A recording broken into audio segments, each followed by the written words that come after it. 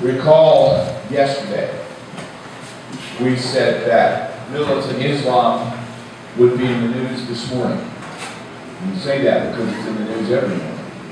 Tragically, it was in the news because of the ambush of a number of policemen here in the Philippines this morning. Every morning, tomorrow morning, there will be something yet again about, about all this. Well, we were uh, looking yesterday and uh, our notes, and we had just talked about how in theory the Muslims believe in four books, how, uh, however, in practice they, they use the one book.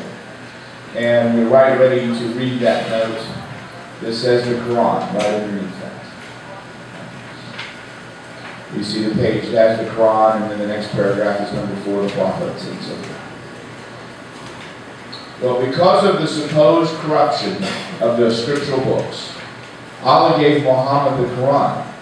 Many Muslims try to find Muhammad in the Bible, believe he's referred to in Deuteronomy 18:16, which we looked at yesterday, but also John 14:16.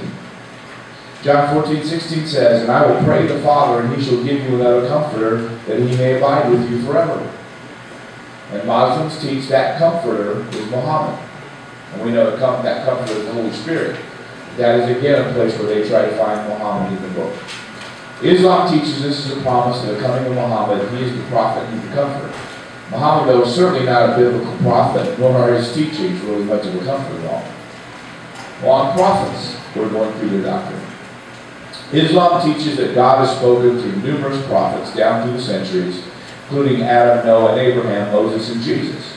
The greatest prophet and the last prophet is Muhammad. He is the seal of the prophets. Muhammad did in fact present himself as the last person that God would give revelation through.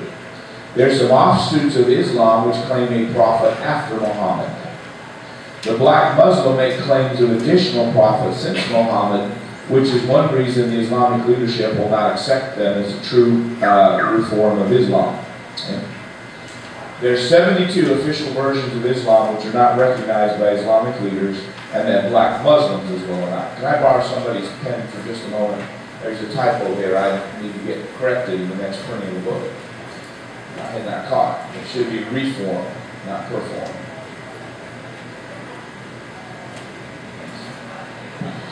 Um, the last days will be a time of resurrection and judgment. According to Islam, everyone will be resurrected to stand before Allah to be judged in the last day. Those who follow Allah and Muhammad will go to paradise and others will go to hell. Everyone will pass through hell and even some Muslims will spend time in hell till their sins are burned away and Muhammad intercedes for them. Those whose bad deeds outweigh the good may have to spend time in hell until their sins are purged away, even if they have kept the five pillars of the faith. The emphasis is doing more right than wrong. This doctrine is not far from the doctrine of purgatory. While everyone passes through hell, unbelievers remain there. Some Muslims walk right through hell and go directly to paradise. Hell, according to Islam, hell is a place of Allah's judgment where Muslims will spend time before entering paradise. Unbelievers will have no escape. Muslims believe Muhammad will intercede for them and deliver them from hell. There's been much written about the person who's been in hell for many years, with Muhammad portrayed coming into the fires of hell to deliver him. Novels, story, and art have been created depicting that glorious moment when Muhammad comes to hell because someone is about to be delivered. Sadly, when a Muslim dies without Christ, he'll arrive in hell only to discover that Muhammad is there with him and no one's coming to free him. Other Islamic doctrines. Jesus. According to Islam, Jesus is just a prophet and not the Son of God. According to Islam, Jesus never died on the cross. He was only a prophet to the Jews who was not crucified but was caught up into heaven. A high-ranking member of Al-Qaeda has said in his hearing that it was not as difficult for Christians to become Muslims. They must only give up the Trinity and give up the cross. Those are the doctrines which are offensive to them. Islam believes that God placed a substitute in Jesus' place on the cross. Many believe it was the belief that it was not Jesus who died on the cross is very important. So many Muslims feel the substitute was Judas. Other branches believe it was Simon of Cyrene, but what they're in agreement on is that Jesus never died on the cross. There's no atonement. There's no blood sacrifice. That somebody else was forced to die in Jesus' place, and Jesus just simply ascended in heaven. They're horrified at this simple idea that Jesus paid for man's sin. Because Islam is based around how to teach you how to pay for your own sin. So the idea that Jesus paid for your sin is horrifying to them. Well, Muslims are, however, expecting Jesus to return. Jesus is the Messiah who's coming at the end. But at that return, it's taught he will kill all the Jews, all the Christians, and also all pigs. He'll break all crosses as the cross is considered to be especially offensive to him. He'll get married, die 40 years later, and be buried in Medina next to Muhammad. The resurrection will immediately follow. So they have a doctrine of Jesus, and, and you'll find some paragraphs in the Quran where nice things are said about Jesus, but don't think for a moment they're referring to the Jesus of the Bible. That's why we said yesterday, you can't go to those paragraphs that say good things about Jesus and use them to try and witness to Muslim, because they're not talking about the Jesus of the Bible that died for our sins at all. Scripture does, truly does say there will be false Christ. Muhammad was a false Christ, and there will be others at the end. Well, these false Christs appeal to people. It is feasible that one would say to Islam, I am Jesus come back, and they may believe him. The return of Christ is taught in other religions as well. One Hindu temple in Trinidad is devoted to the return of Jesus Christ. In fact, there's a teacher in India who claims to be the reincarnated Jesus Christ. Actually, I was in Trinidad, and um, this, this fellow who claims to be Christ's return was actually at the temple in Trinidad that is devoted to the return of Christ. And they're not talking about the Christ of the Bible. And uh, the pastor and I went to that temple to try and meet him. I said, I've met Jesus three times. I thought four would, would be good. And we could see him, but guards with machetes would not let us get close enough to talk to him. And they were very serious about it. But we got the point. They, they just stood there sharpening their machetes and glaring at us and standing in our way. We got the idea. According to these Hindus, Christ was the first person to achieve nirvana, pay for all of his sins, and reach the position of not having to return to be reincarnated. But he left nirvana and came back because he's so offended by the claims of Christianity that salvation is to be found through Jesus, and he came back to convince everyone that salvation was not found through him. This one thing is true, salvation is not to be found through that teaching. Well, salvation. The Muslims believe in salvation by obedience to Allah. Allah will intercede on behalf of Muslims. I mean, Muhammad will intercede on behalf of Muslims before Allah.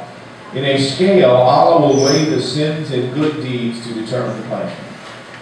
They believe you'll actually go before Allah, and there'll be a scale, and on the scale will be things that represent your bad deeds and things that represent your good deeds, and so we'll find out which weighs the most.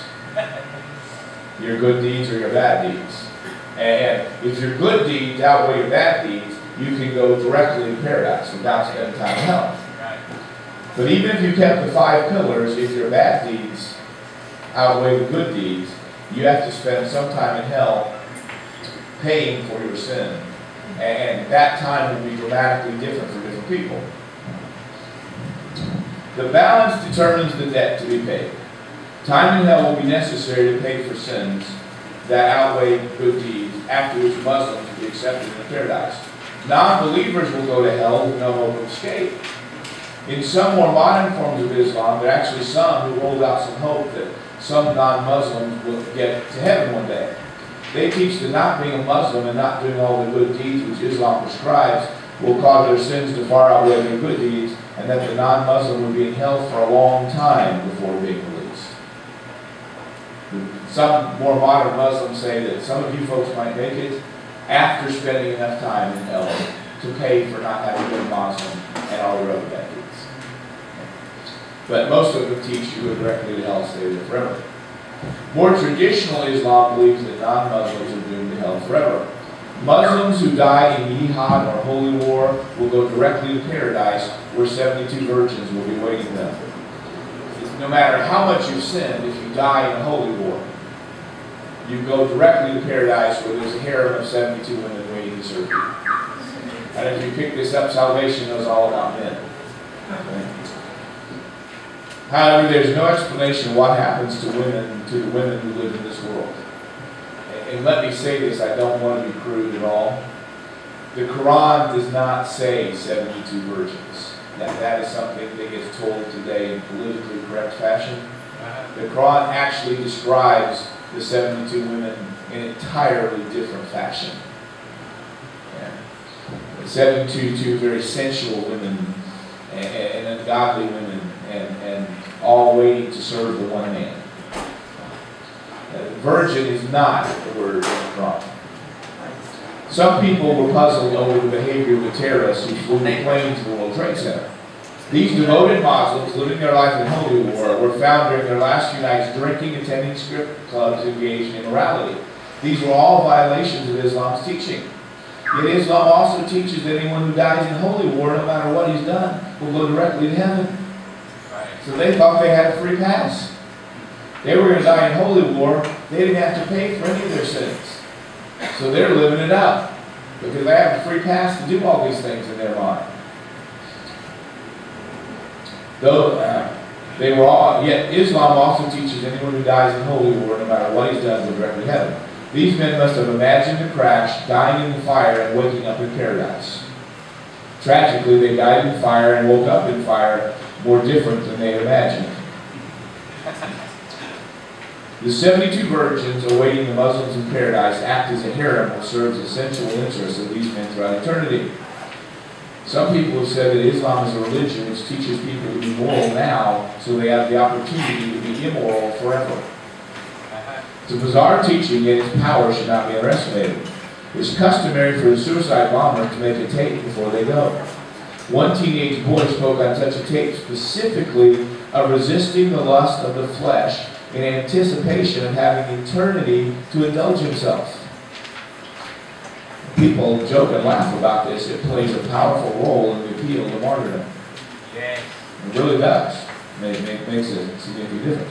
Right. John Quincy Adams, sixth president of the United States, long time back, said this.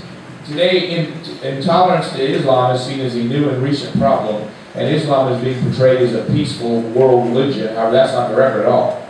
The sixth president of the United States, John Quincy Adams, summed up the feeling of the Western world of his day, that of the early 1800s concerning Islam.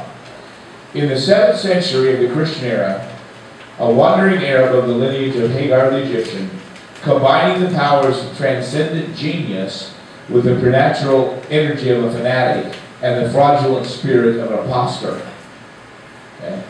Didn't exactly have nice things to say about Muhammad. Proclaimed himself as a messenger from heaven and spread desolation and delusion over an extensive part of the earth, adopting from the sublime concept of the Mosaic Law the doctrine of the one omnipotent God. He connected indissolubly with it with the audacious falsehood that he was himself his prophet and apostle, adopting the new revelation of Jesus, the faith and hope of immortal life, of future retribution. He humbled it to the dust by adapting all the rewards and sanctions of his religion to the gratification of the sexual passion. He poisoned the source of human felicity at the fountain by degrading the condition of the female sex and the allowance of polygamy. Okay? Again, just a very, very uh, harsh but accurate condemnation of what happened with Muhammad. This is not new. This idea that all of a sudden in this day and age some evil people have, have developed a phobia about Islam and accuse it of violence is not at all true. It's been violent from the beginning, and people knew that.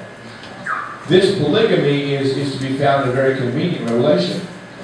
Normal Islamic tradition permits four wives. In the energy of his youth, a man will often marry three women who remain with him throughout his life. Then in his midlife, he may marry a fourth wife, often in her teen years or early 20s. So when you're in your uh, teen, your early 20s, you marry three wives, roughly your own age. 30 years later, in what in the Western world is called a midlife crisis, you marry a new wife, usually a teenager in her 20s. Very convenient revelation. While his three wives have been together for decades and are roughly the same age and have the same circumstances, This new wife typically warrants the husband's greatest attention. This can generate substantial hostility among the other wives. This is a current practice derived from supposed revelation of polygamy. While in Suriname, on my very first missionary trip, we had a young lady saved in service who was a fourth wife. She had just married Muslim husband and, and was being treated very badly by the other three wives because she was getting all the attention. And the other three wives would not let her go to mosque with them. Somehow, in the grace of God, she wandered in, into a Bible believing Baptist church. Amen. And in a time of real heartache, heard the gospel and trusted Christ as her Savior. Amen. But she explained to us what she was going through. Well, this is a current practice derived from the supposed revelation of polygamy. And he declared a distinguishing and exterminating war as part of his religion against all the rest of mankind. See what John Quincy Adams said about him in the early 1800s and about Islam? Described it as undistinguishing and exterminating war against all the rest of mankind. This has clearly been the historical record and is not new. The essence of his doctrine was violence and lust to exalt the brutal over the spiritual part of human nature. Between these two religions, thus contrasting their character, a war of 1200 years has already raged. The war is yet flagrant, while the merciless and dissolute dogmas of the false prophet shall furnish motives to human action, there can never be peace on earth and goodwill towards men. But John Quincy Adams understood in the early 1800s Islam was at war with all the rest of the world. It was obvious.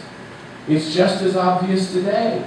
Except in John Quincy Adams' day, there was no such thing as multiculturalism, the belief that all religions are the same and all religions are good. That would have been considered foolish. For 50 years in the West, we've been telling ourselves all religions are the same, all religions are good, all religions are peaceful. And we have told ourselves that so much in the United States, we cannot bring ourselves to face the facts that are all around us.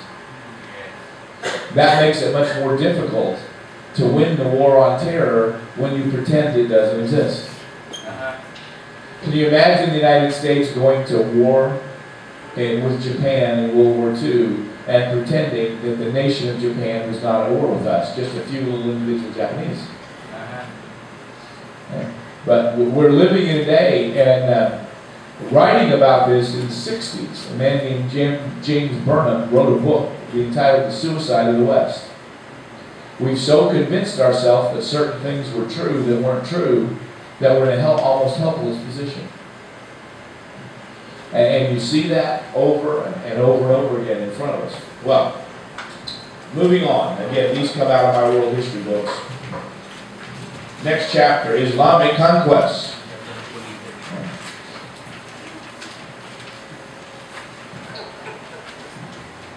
Paul Johnson, a historian, is quoting Theodore Roosevelt in a biography called Theodore Roosevelt, American Monarch, another American president. Prayer is our greatest weapon these or any other times. Best we not send our boys across the sea to face the heathen hordes, lest we have a nation at home one in prayer. If history teaches us nothing else, let us at least remember what the Byzantines learned, what the Crusaders learned, what the French learned. You cannot face the dread terror of Islam in mere human strength. When the quietude of the desert has been stirred, let all Christian men and women turn to the sovereign Lord. Let all Christian men and women turn to Him in holy seasons of prayer. Now, don't have anything like that in the American presidents today. Theodore Roosevelt said we should not even be sending our men across the sea to fight Islam. And, and, he's talking about the Ottoman Empire, which was our enemy in World War I. He said we shouldn't even send our troops over there without getting right with God first. He said the Byzantine Empire, the Crusaders, and the French all found out the hard way. You can't defeat Islam with military weapons. The American president saying that today. Uh-huh. But, but lived in a different age. Again, they had not been blinded by 50 years of multiculturalism. Then. This statement by Theodore Roosevelt made in reference to fighting the Ottoman Empire in World War I. This remains tremendous advice as the United States finds itself in exactly the same situation today. When you send soldiers to fight a foe which is committed to a false religion, it's necessary to bathe them in prayer. Military means are not enough. This is a spiritual battle. Uh-huh. Right? Though some victories are being won in the war on terror, the cause is hindered because it's being dealt with as a military issue rather than a spiritual one. America is refusing to face what is at war with us and certainly refusing to allow it to create a spiritual renewal. Robert Spencer, the politically correct guide to Islam, the Quran is unique among the sacred writings of the world in counseling its adherents to make war against unbelievers. None of the Hindu books, none of the Buddhist books, none of the Confucius books says conquer the world by force. So as bad a theology as they are, they are not political movements and they're not a political threat. As we were asked in the question and answer time yesterday, was Islam a political movement or a religion? And the answer is yes.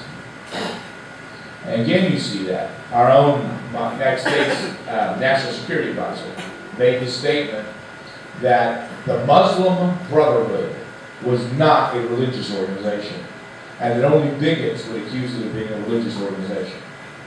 But they don't know they're not a religious organization. That's why they call themselves the Muslim Brotherhood. To them, it is all one. And, and, and, we had the absurd scene of the fellow who's supposed to be in charge of America's security saying the Muslim Brotherhood was not religious. It, it's absurd on the face of it. Of course the Muslim Brotherhood is religious. It's Muslim. Right. That's the situation we find ourselves in. Well, those, those uh, we drop down in the Spencer. The scripture does not require that anyone be made Christian by force. Buddhism does not teach that force should be used to convert anyone to their beliefs, neither does Hinduism. Islam stands alone. While Buddhism and Hinduism teach a theology which is just as false as Islam, they do not require the attention of political and military leaders because they have no program for conquering the world by force. In other words, we don't have to deal in the Philippines or in the United States we, our military doesn't need to know the details of Buddhism or the details of Hinduism because they are not a military force against us. Uh-huh. They do need to know the details of Islam because it is a military force against us.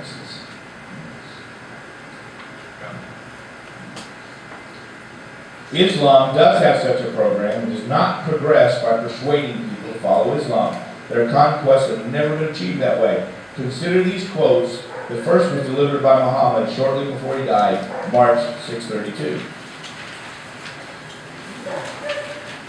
I was ordered to fight all men until they say, there is no God but Allah. Because that's what God told him to do. Fight everyone until they say that.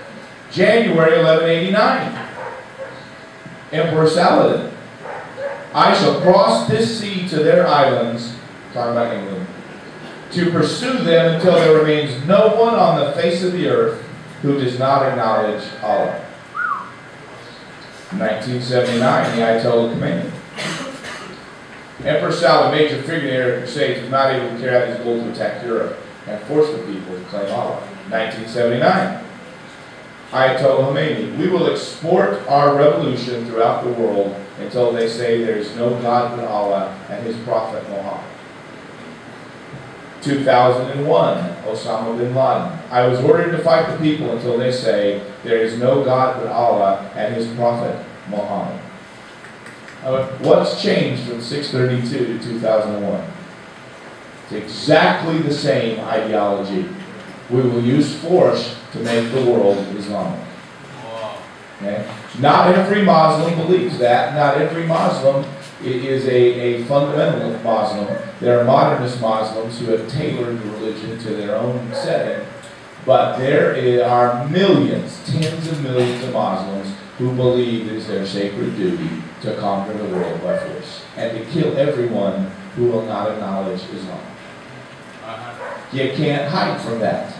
Okay? We're discussing that in contemporary theology, what sounds like a political issue, but we're discussing it in contemporary theology because that's the issue we find ourselves in in the Western world, at least in my country, that we will not face. There's a religious dimension to this. Right. But like it or not, there is. These are not people corrupting Islam. These are the people taking the Quran literally.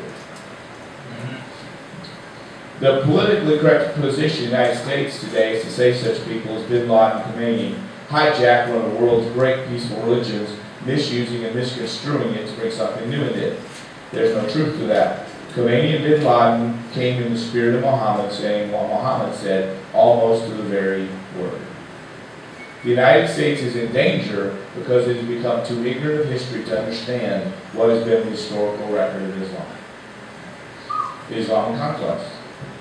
Islam is unique among the religions of the world because it is the only one with a specific plan to spread its message through the world by military force. This is clearly illustrated in a recent incident. Gracia and Martin Burnham, missionaries to the Philippines, on a holiday, were kidnapped by militant Islamic extremists in the southern part of the Philippines and held for ransom. The Filipino military made an attempt to rescue them a year later. Gracia was rescued, but tragically Martin Burnham was killed. Gracia wrote a book about the experience, and she records how she asked the men what they were fighting for. They said the southern part of the Philippines, uh, southern part of the Philippines, Mindanao, belonged to them and should be Muslim. Mindanao today has a Muslim sultan whose family once ruled over. His palace can be toured, and at one place there is a display depicting a direct line from Muhammad to his family and from his family to him. Gracia's captors were saying they were fighting because Mindanao should be Muslim territory. Gracious, Gracia then asked them if the Filipino government gave them Mindanao, would the fighting stop? Her captor replied it would not, that they then must have the island north of that. Gracia asked if granting that island would end the fighting.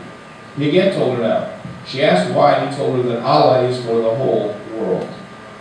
There is one goal one goal only for Islam. That is to bring the entire world under the jurisdiction of Islam. In the history of the last 1400 years, Islam has never been successfully advanced by peaceful means. It's always by conquest. This is the historical record which needs to be understood.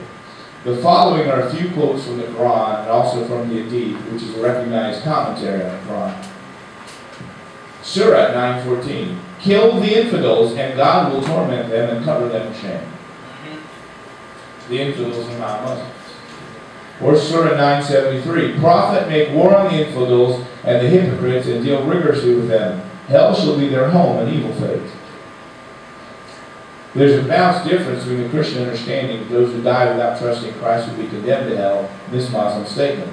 Christians are not killing people to send them on their way, which makes all the difference in the world. There should be no offense in trying to reach unbelievers out of concern for their eternal destiny. Religion which will try to send them to hell is certainly offensive. Surah 926. Fight against such as of those to whom the scriptures were given, as believe neither in Allah nor the last day. When they refer to people whom the scriptures were given, who are they talking about? The Jews, given the Old Testament. They say, kill them. The Jews who don't believe in Allah, kill them.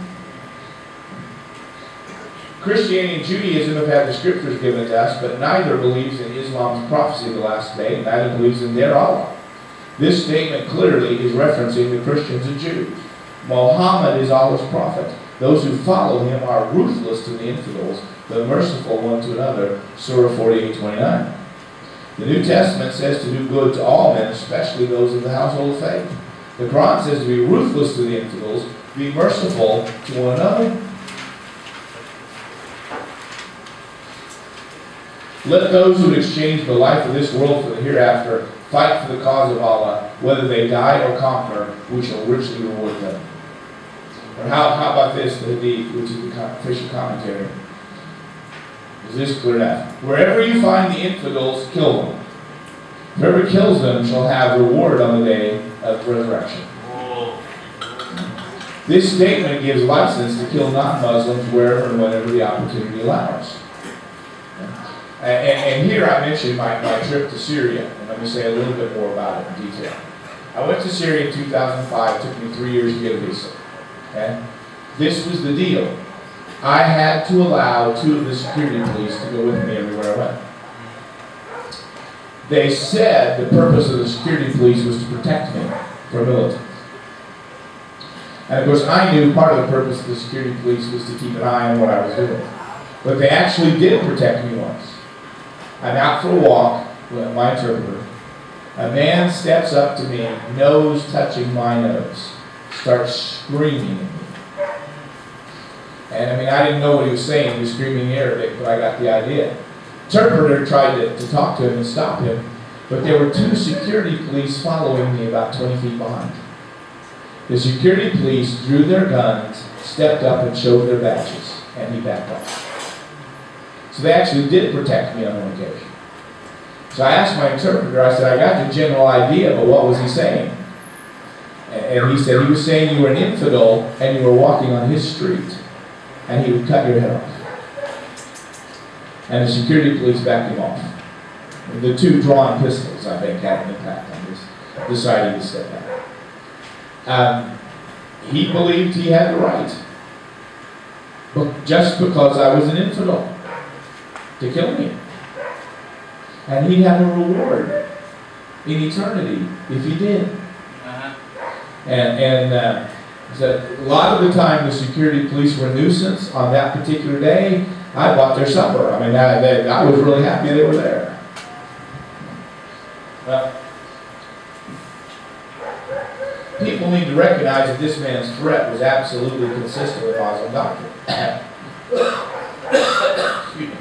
If he had killed me, that too would have been completely consistent with Muslim doctrine. Here's another quote from the Surah. Fight them on until there is no more tumult, seduction, or oppression, and there prevail justice, faith in Allah, and the religion becomes Islam. My home of Chicago, there are billboards promising that if everyone will follow Islam, that will bring about peace. It would bring about peace in the sense they would not have to fight opposition anymore, Islam declares they want peace. The only prerequisite is that we submit to Allah in order to have, and submit to Islam in order to have that peace. The Hadith again. Muhammad said, I'm in order to fight with the people till they say, none has the right, uh, none has the right to be worshipped but Allah. And from the surah, O ye who believe, fight those of the disbelievers who are near you, and let them find harshness in you, and know that Allah is with those who keep their duty unto Him. Get the idea? They were taught to carry out military activity against non-Muslims. Right. This is part of their religion. This is not a handful of terrorists who have corrupted a religion. This is the religion. And that is what needs to be faced in the Western world in countries like the Philippines. Uh, just, just example, this morning's news. The Islamic, Moro Islamic Front, or whatever the exact name is, your country's negotiating peace with them. Right. During the middle of the negotiations, they go out and help ambush and kill 40 some of your police. Yes. Right. You can negotiate peace with them when the negotiations are done, they're still going to believe they should kill you. Sitting at a table with them doesn't bring peace. Which ought to be blatantly obvious this right. morning. Chicago also has a number of Muslims. Many live in my neighborhood and there are several mosques nearby. People may say the local Muslims are not practicing these things, which is true, they're not. However, the laws of the United States will not permit it. But look at the areas of the world where it's permitted and observe what they practice. Okay? On Friday night, when the mosques have their service, the Chicago police have extra patrols. Because they know that some of the imams are preaching violence. And they want everybody to know that if you're tempted to carry out the preaching of the imam, the, the police are out in full force on Friday night. And some people have criticized the police department for doing that. But to me, it makes an awful lot of sense to have it. We, we have policemen in our church, but we have revival and have service on Friday night. None of our policemen are there. They're all on patrol. But to me, that makes a lot of sense. And that is one reason you're not seeing these acts of violence very much. You are seeing people in Chicago put ISIS flags places. Uh-huh. And, and uh, the Chicago police are not being politically correct. They're being extra thoughtful, and I, for one, am very grateful to it. Ephraim Karsh writes in Islamic Imperialism, as a universal religion, Islam envisages a global political order in which all humankind will live under uh, Muslim rule either believers or uh, subject communities. Excuse me. In order to achieve this goal, it's incumbent on all free male adult Muslims to carry out our uncompromising struggle in the path of Allah or Iman. now again, I know Muslims who I think have no interest in jihad at all. In fact, the longer they live in the United States, the less interest they have. They're making good money, they're buying things, they're enjoying luxuries they never had before. They don't want to give all that up to fight a war. They like living in the comfort. Uh-huh. But, I said, those are the ones I know. Those are the ones that are easy to talk to. Those are the ones that are around. They're also on my block.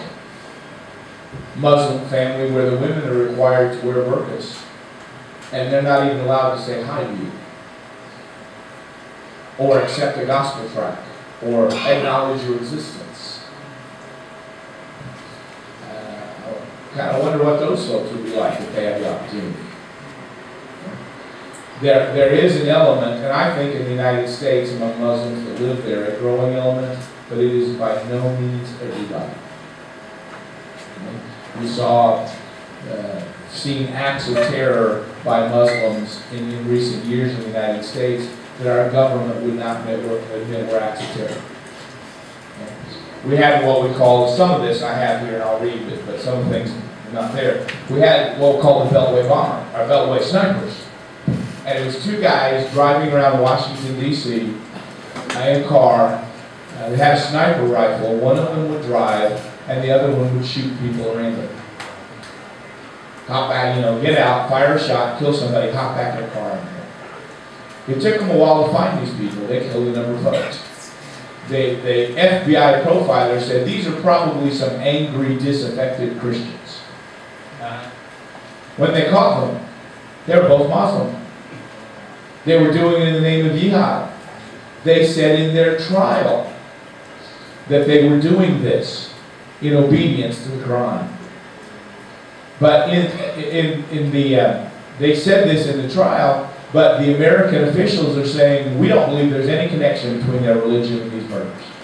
Even though they were saying in the trial, they did it to carry out jihad and kill the unbelievers. There was an army recruiter standing outside an army recruiting office that a Muslim shot and killed while shouting Al Akbar. And he's prosecuted for murder, but again, the authorities said they didn't believe his religion had anything to do with it. Imagine what they do if, if a Christian killed somebody and then said in the name of Jesus. Yes. Know. And uh, the Boston bombers who, who, who set off bombs the Boston Marathon year before last.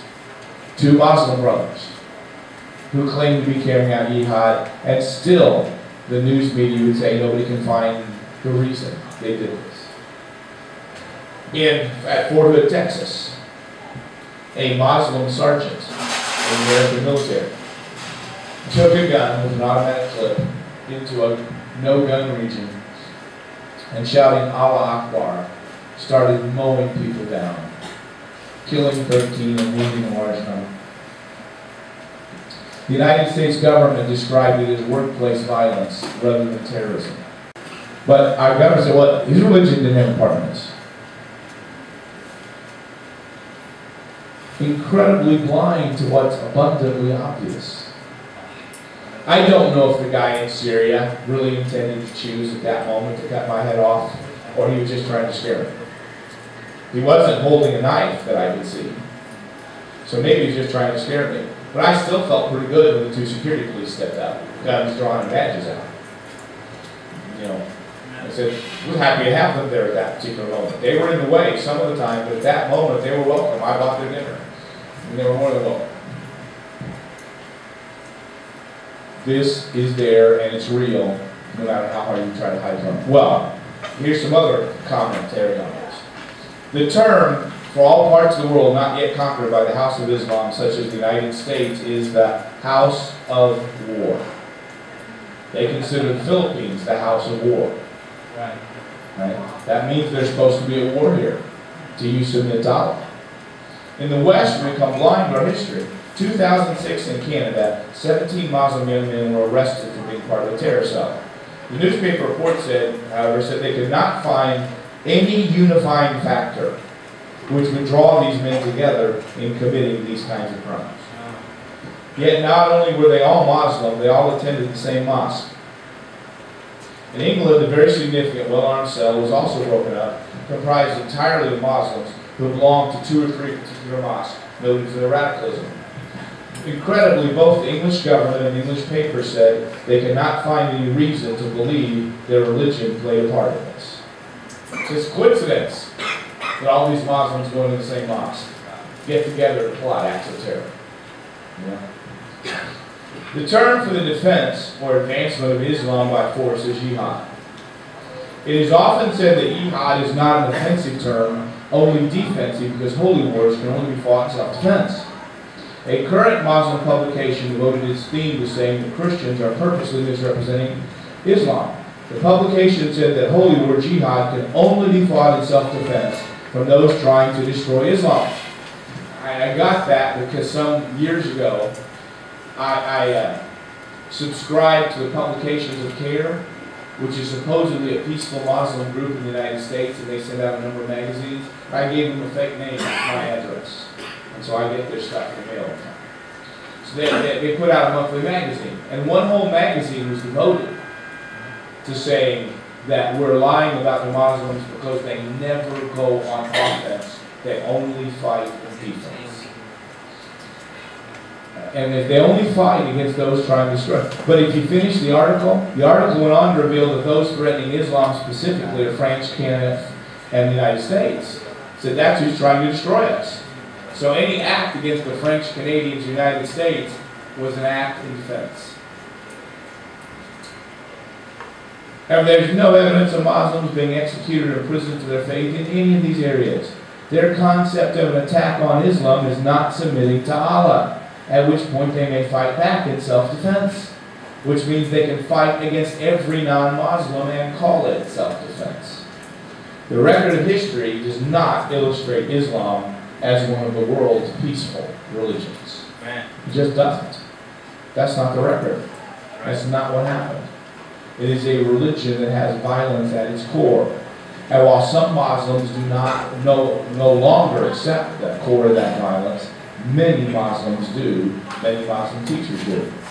This is why the current president of Egypt just spoke to a conference of Islamic religious leaders and said, if we don't abandon the concept of conquest, we will never be at peace with the world.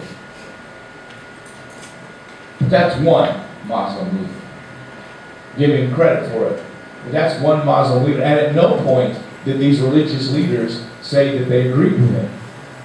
Said, they would say, all we're doing is defending ourselves against those who don't believe. So what are those who don't believe doing to threaten you? They're not believing. So all of you today are a threat to them. So consequently, killing you would just gain favor with Allah.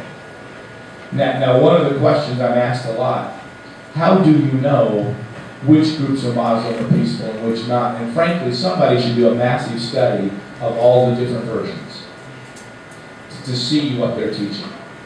I don't know the answer to that. I'm not in favor of reacting against Muslims in general. But I also think you can't hide from right. the fact this is going on. Right. And, and so when the Chicago police puts out extra patrols on Friday night about the time the mosques get out, I think it's a really good idea. Peaceful Muslims aren't going to be bothered by the police. That's, that's a really good idea. Facing what we're dealing with, stopping, stop pretending Islam is not dangerous and that it's a peaceful religion. The mosques where they do preach peace are going against the Quran. Good for them. I'm not in favor of locking them up or anything, but good for them that they're going against the Quran. But there's a whole lot of folks that are going to be obedient to it no matter what. And we have to face that. Let's take a 10 minute break. Prayer. Throughout its history, early Islamic conquest is a section. Islam has been spread by the sword, not by preaching, persuasion, or negotiation. Right.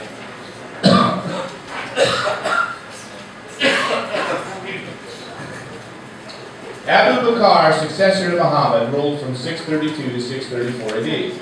He was succeeded by Caliph Omar, 634 to 640 AD. Under Omar, Islam conquered Syria, Palestine, Persia, Mesopotamia, Egypt, Cyrene, and Tripoli, encompassing North Africa and most of the Middle East. That, that's in 10 years. These were all, these territories were all taken in battle. When you, you read later about the Crusaders coming to the Holy Land and, and Muslims well, they tried to come take the Holy Land by force. How did the Muslims get it? By force.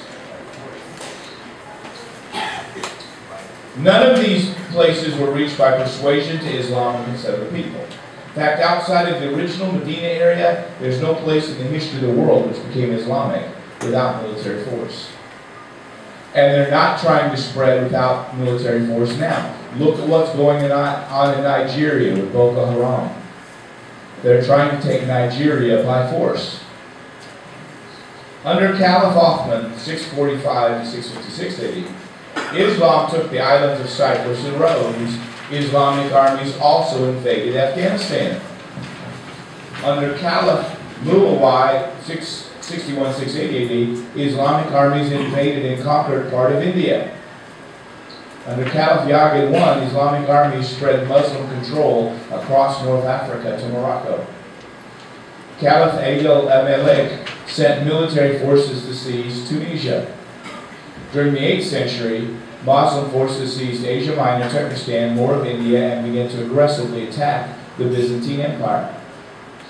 Also in the 8th century, Islam began its invasion of Europe.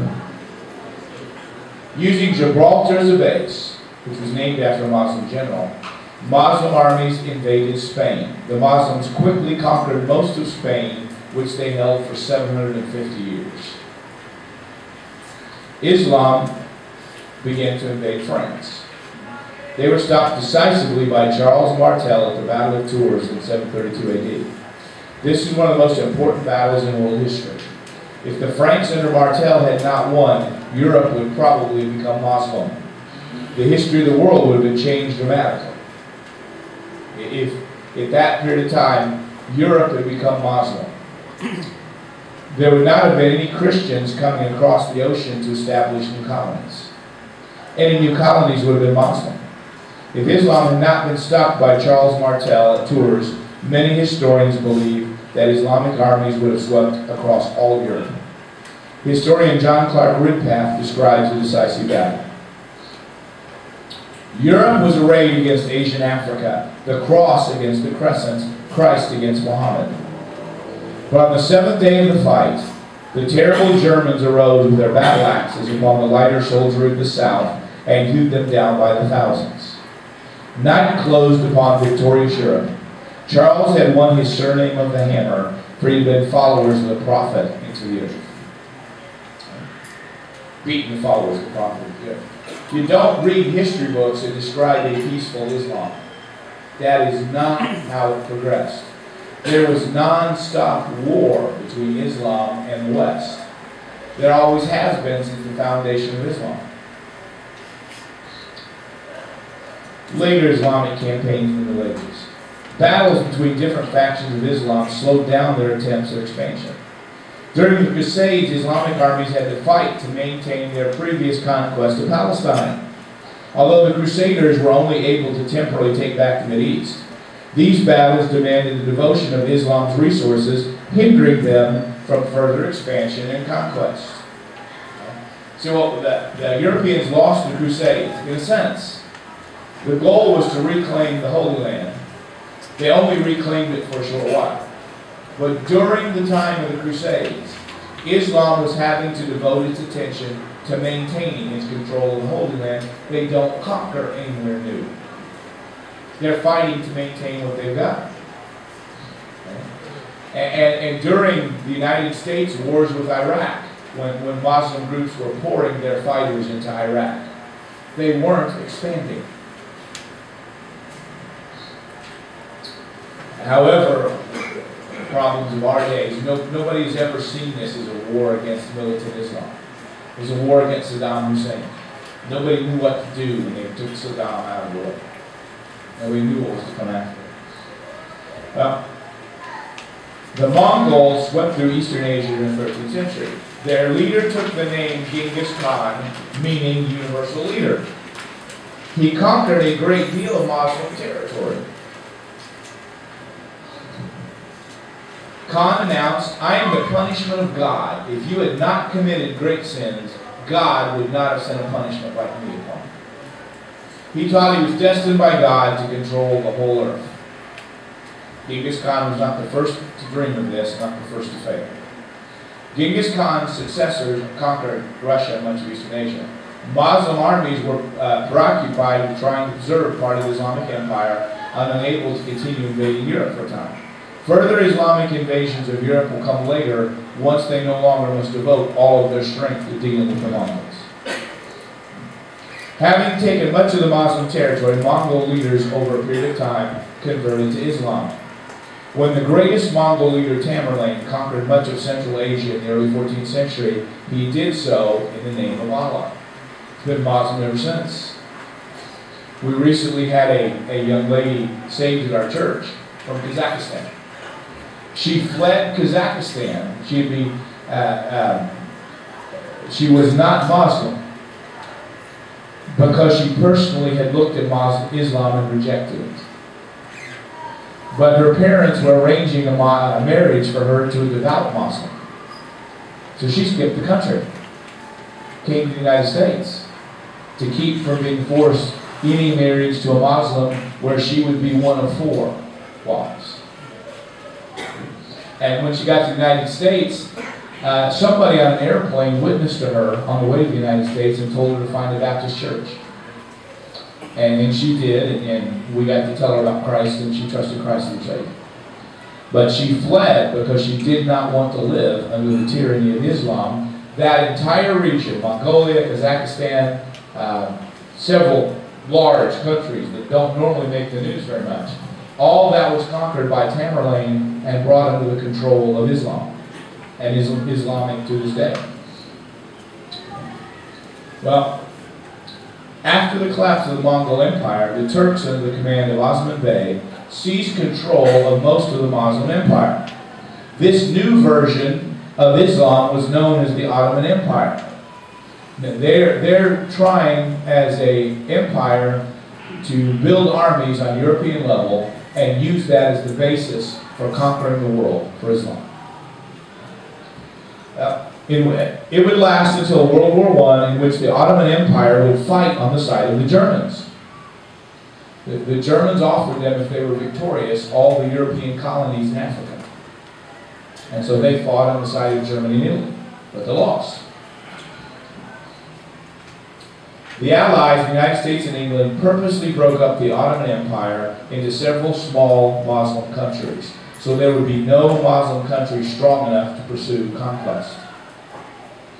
This was effective for a time, which is why the West has forgotten the nature of Islam. Everybody in the Western world knew Islam was the conquering enemy. For centuries, nobody would ever have suggested it was peaceful. I mean, that, that, was, that was the enemy you were always having to fight. And, um, but the reason people forgot, after World War I, the Ottoman Empire was broken up into a lot of small countries. Kuwait was created, Iraq was created, Saudi Arabia was created, Bahrain was created. And, and they just sort of sat in a room with maps and drew the boundaries. There was nothing consistent. One of the reasons, ever since then, Iraq has been in a constant state of civil war is they took three groups of people who did not like each other, have anything to do with each other, and made them a country. They had no common language. They had different versions of Islam. They had a history of fighting. They said, okay, you guys are a country together. And still, the three groups, the Shia, the Sunni, and the Kurds, fight each other in Iraq. Have nonstop. Even in the most recent setting, one of the things that's happened is, is where the Kurds have the most effective militias, and they have resisted ISIS. And we have sent military aid to the Kurds through Baghdad. It never gets to the Kurds. The Shia, who are in control of Baghdad, take all the military equipment for themselves. They don't care if the Kurds get massacred. To this day, nothing unites them. During the two Gulf Wars, the Kurds fought with the United States overthrow Saddam Hussein. They, they artificially made these countries. When they artificially made these countries, they picked local leaders and made them kings. So we, we just saw this week the king of Saudi Arabia passed away. His family's been the royal family since 1918, when the British and French and Americans redrew the map and, and broke up the Ottoman Empire into a lot of countries. This was a local ruler. They gave, him king and said, this is yours. Made somebody else the king here, and somebody else became there, and somebody else became there. It was a completely artificial map that had only one goal. Break up Muslim strength. So there was not one large, strong Muslim nation to lead the quest for conquest. After these nations were all broke up in 1918, they were not strong enough to try and conquer.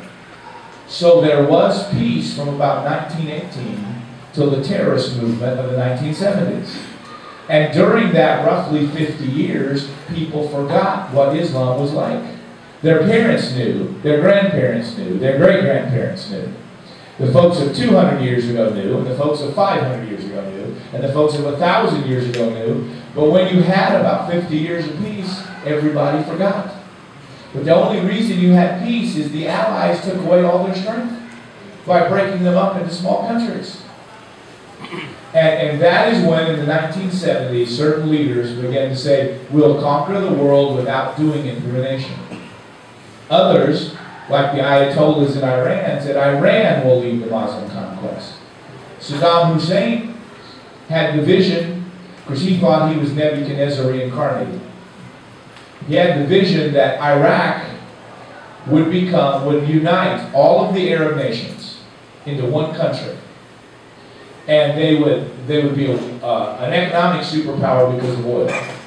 He wanted to develop nuclear weapons and they would be a military superpower because of nuclear weapons.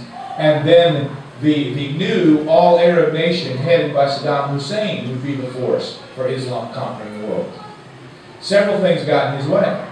When he had a flourishing nuclear program in 1981, Israel bombed it out of existence. They were trying to rebuild it, but they never recovered from what Israel did to them. And, and, and um, one of the things the Israelis did, besides using missiles, they literally, planes, the, the Muslims believe that pig's blood desecrates anything.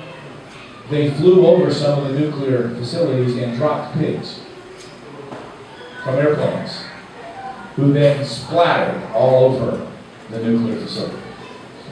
Um, but Saddam Hussein was, you know, committed to rebuilding those. Well, then he tried to invade Iran as part of conquering the Islamic world. That failed. So then he tried something smaller, Kuwait, smaller country right there next to Iraq. And they conquered Kuwait. That is when the first President Bush got up public and said, this will not stand. And, and the United States went into the first Gulf War and threw them out of Kuwait. Saddam Hussein had a long history of failures. But that was his dream. He would recreate the Islamic Empire with him as the leader. ISIS is also trying to recreate the Islamic Empire using some of Muhammad's original tactics with the goal uh, uh, of becoming the dominant form of Islam. They're different than Al Qaeda, which they broke from in this sense. Al Qaeda said, We want to unite all Muslims in this cause. Uh, ISIS says, We will destroy all Muslims who don't believe in our way of doing it. So they have become more violent even than Al Qaeda, which is looking for as many allies as it can get. So you could come from any of the versions of Islam to Al Qaeda and be accepted. In ISIS, they're, they're killing Muslims as quick as they're killing anybody else if you're not their kind of Muslim. And, and with aggressiveness, they had an incredible amount of success. And, and they have a number of strategies, like the taking of hostages. And, and they have done things like seize oil wells, and instead of destroying the oil wells, they operate them, sell the oil. They seize banks. And instead of looting them, they operate them and make money off the banks. They use social media a lot. I mean, there's a lot of different things about ISIS, but it's still the same dream conquest of the world in the name of Islam. They, again, these groups have fought each other over who does what, but nonetheless, I mean, this is what it's about. Well, again, it was from 1918 to the 1970s when Islam wasn't strong enough to be violent that people forgot its violent nature. While the Muslims formed special military units out of the sons of Christians who were conscripted into Islamic armies, they became a military elite known as the Janissaries. Most of these young men were taken by force from the homes of Christians who lived in the Middle East or during raids in Europe. Once taken, these young men were raised from children to become warriors, although entirely composed of men having Christian background. They were raised to believe that death in the service of Allah was the highest calling. The Janissaries were raised to never show fear and to accept the idea that their lives would be offered in a moment. During the siege of Malta in 1565, needing to bridge a gap between the attacking forces and fortifications, the Janissaries were ordered to run into the gap and die, so there would be so many bodies that it created a bridge the others could cross. And they did. They did as commanded. The Janissaries became quite a fierce fighting force trained to be totally loyal to the emperor. The Ottoman Empire began to chip away at the Byzantine Empire with one conquest after another.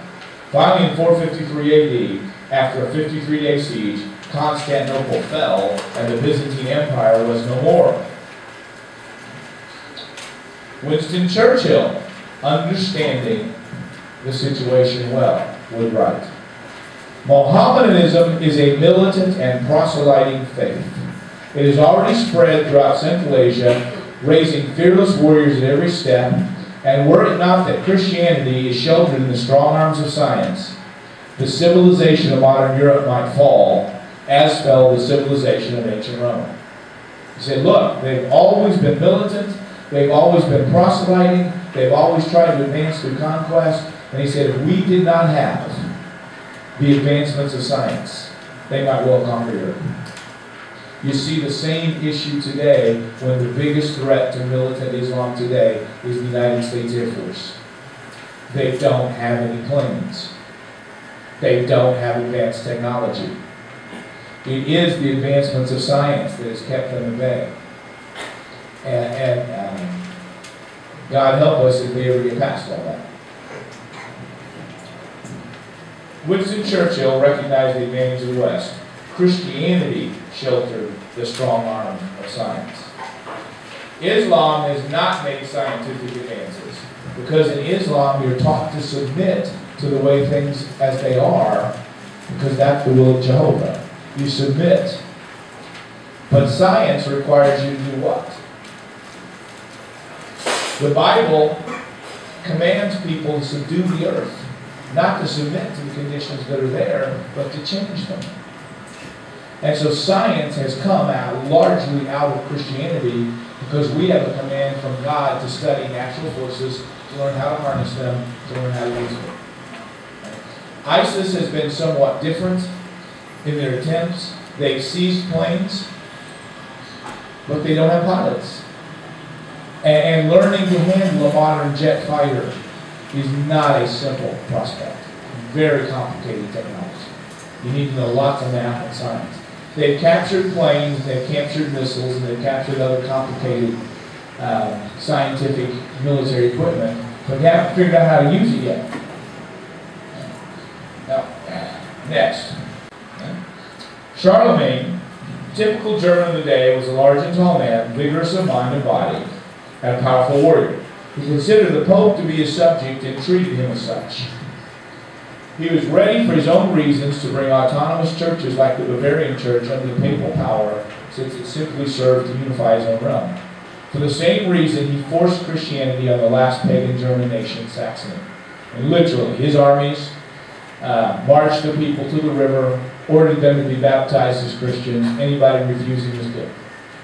Thousands and thousands of people. He wanted to create the Holy Roman Empire. He wanted to revive the Roman Empire, but revive it in the name of Christianity. Hence the name Holy Roman Empire. And in doing so, he wanted to unite by persuasion or conquest, whatever it took, all of professing Christianity, which made him the ultimate enemy to Islam. Here he is uniting much of Europe in the name of, of his version of Catholicism.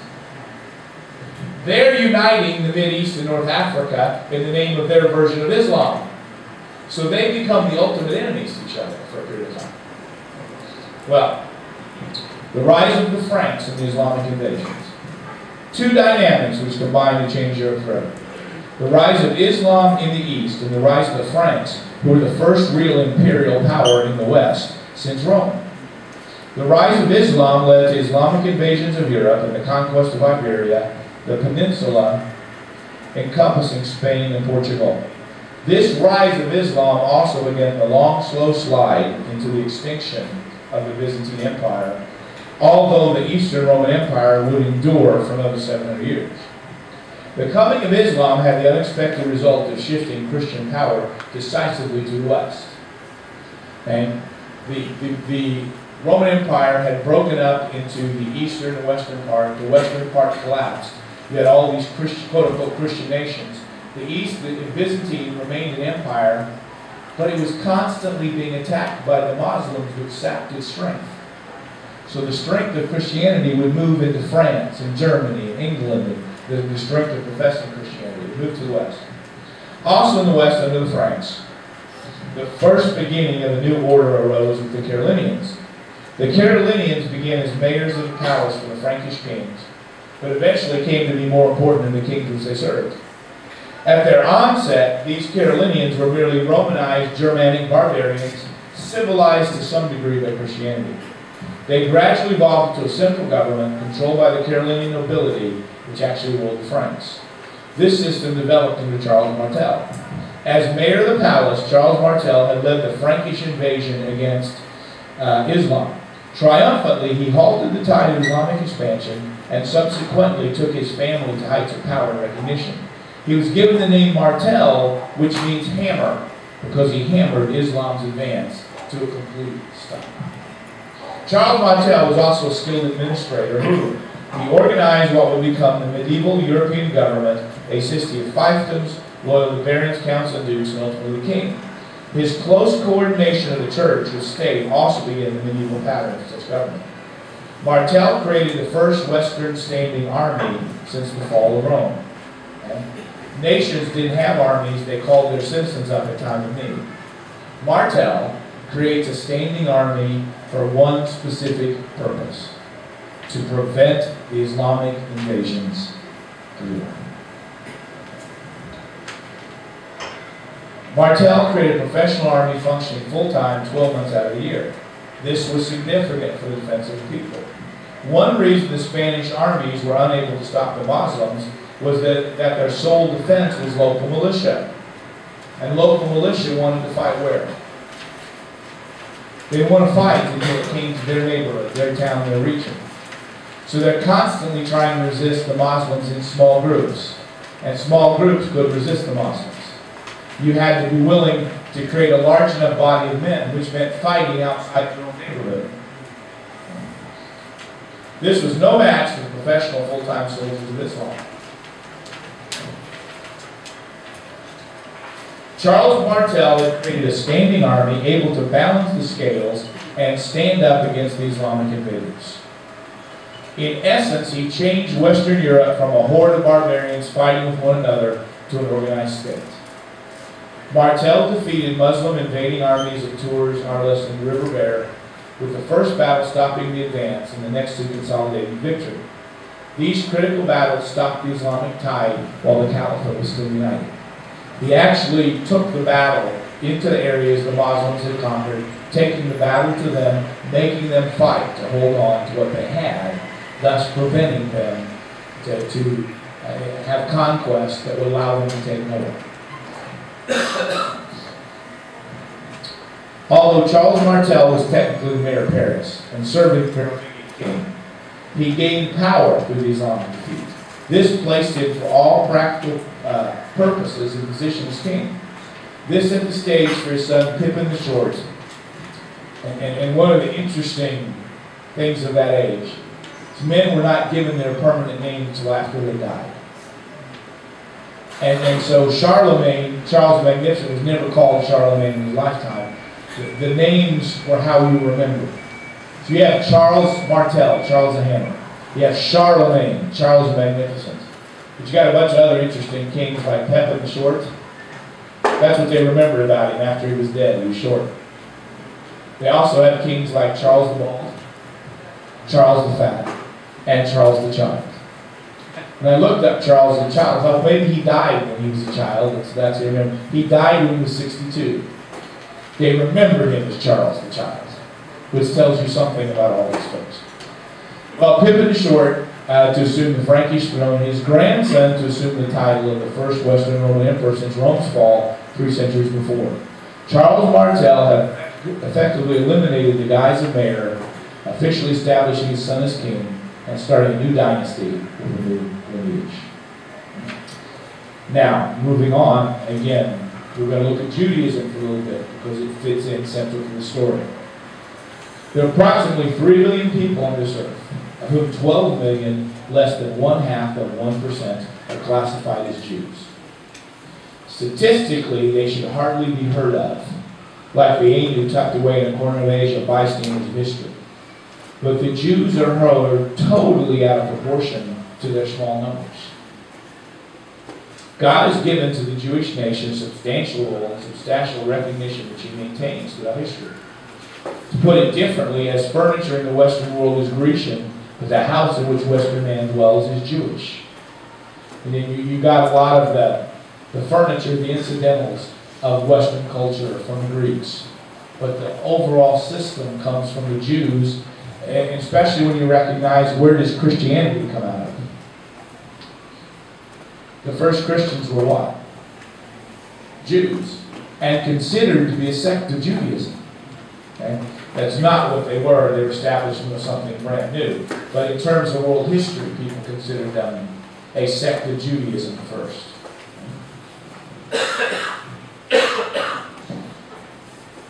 This reference to Christianity being introduced to the Western world. Okay? While there are small evidences of Grecian influence strong throughout the Western world, the structure of culture is Judeo-Christian. As with all conspiracy theories, once the first imaginative jump is made, the rest follows with intoxicating logic. Conspiracy theories about the Jewish people are repeatedly used as justification for persecuting Jews. Recent Ahmadinejad speeches to the United Nations alluded several times to various Jewish conspiracies. It's amazing how many conspiracy theories have been advanced in reference to the Jews in different places, times, countries, and cultures.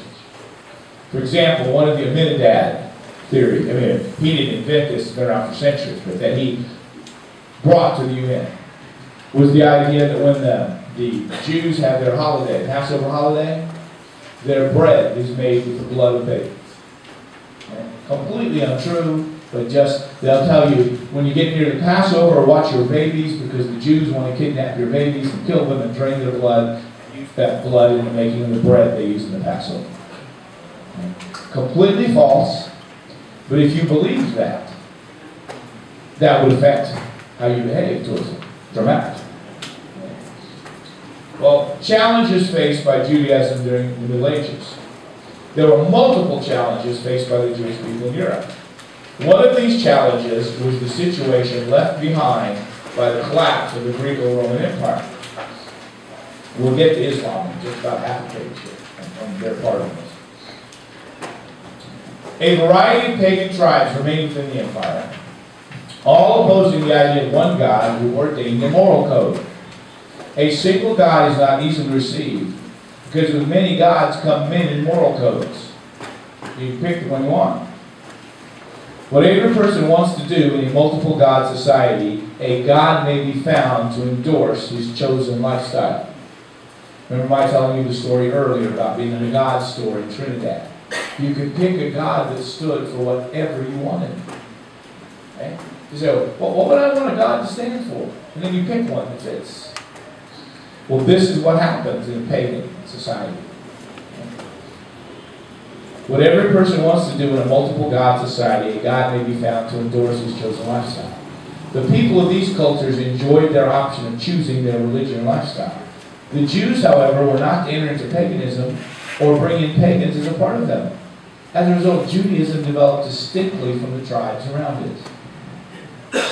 And one of the reasons the Jews are so resented, the Jews are saying, this is the right behavior and this is the right conduct.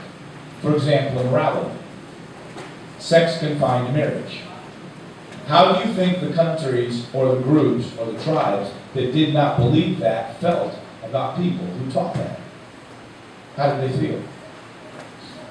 They resented it because it said, in essence, every time you looked at a Jew, it was saying, you're wrong, your morals are wrong, your culture is wrong. And, and the attitude, it wasn't reasonable for people to be moral. The Jews would say the issue is not reason, the issue is thou shalt not commit adultery in the Ten Commandments, etc. And you find the same thing today. People that stand for a biblical moral code don't have to say anything or do anything to make people mad. The fact that you're there reminds people of their sin. And people do not wish to be reminded of their sin. Well, and then, was whole many, many others. Christianity later created another challenge for the Jews. Initially, Christianity was seen as part of Judaism and drew many Jews voluntarily into it.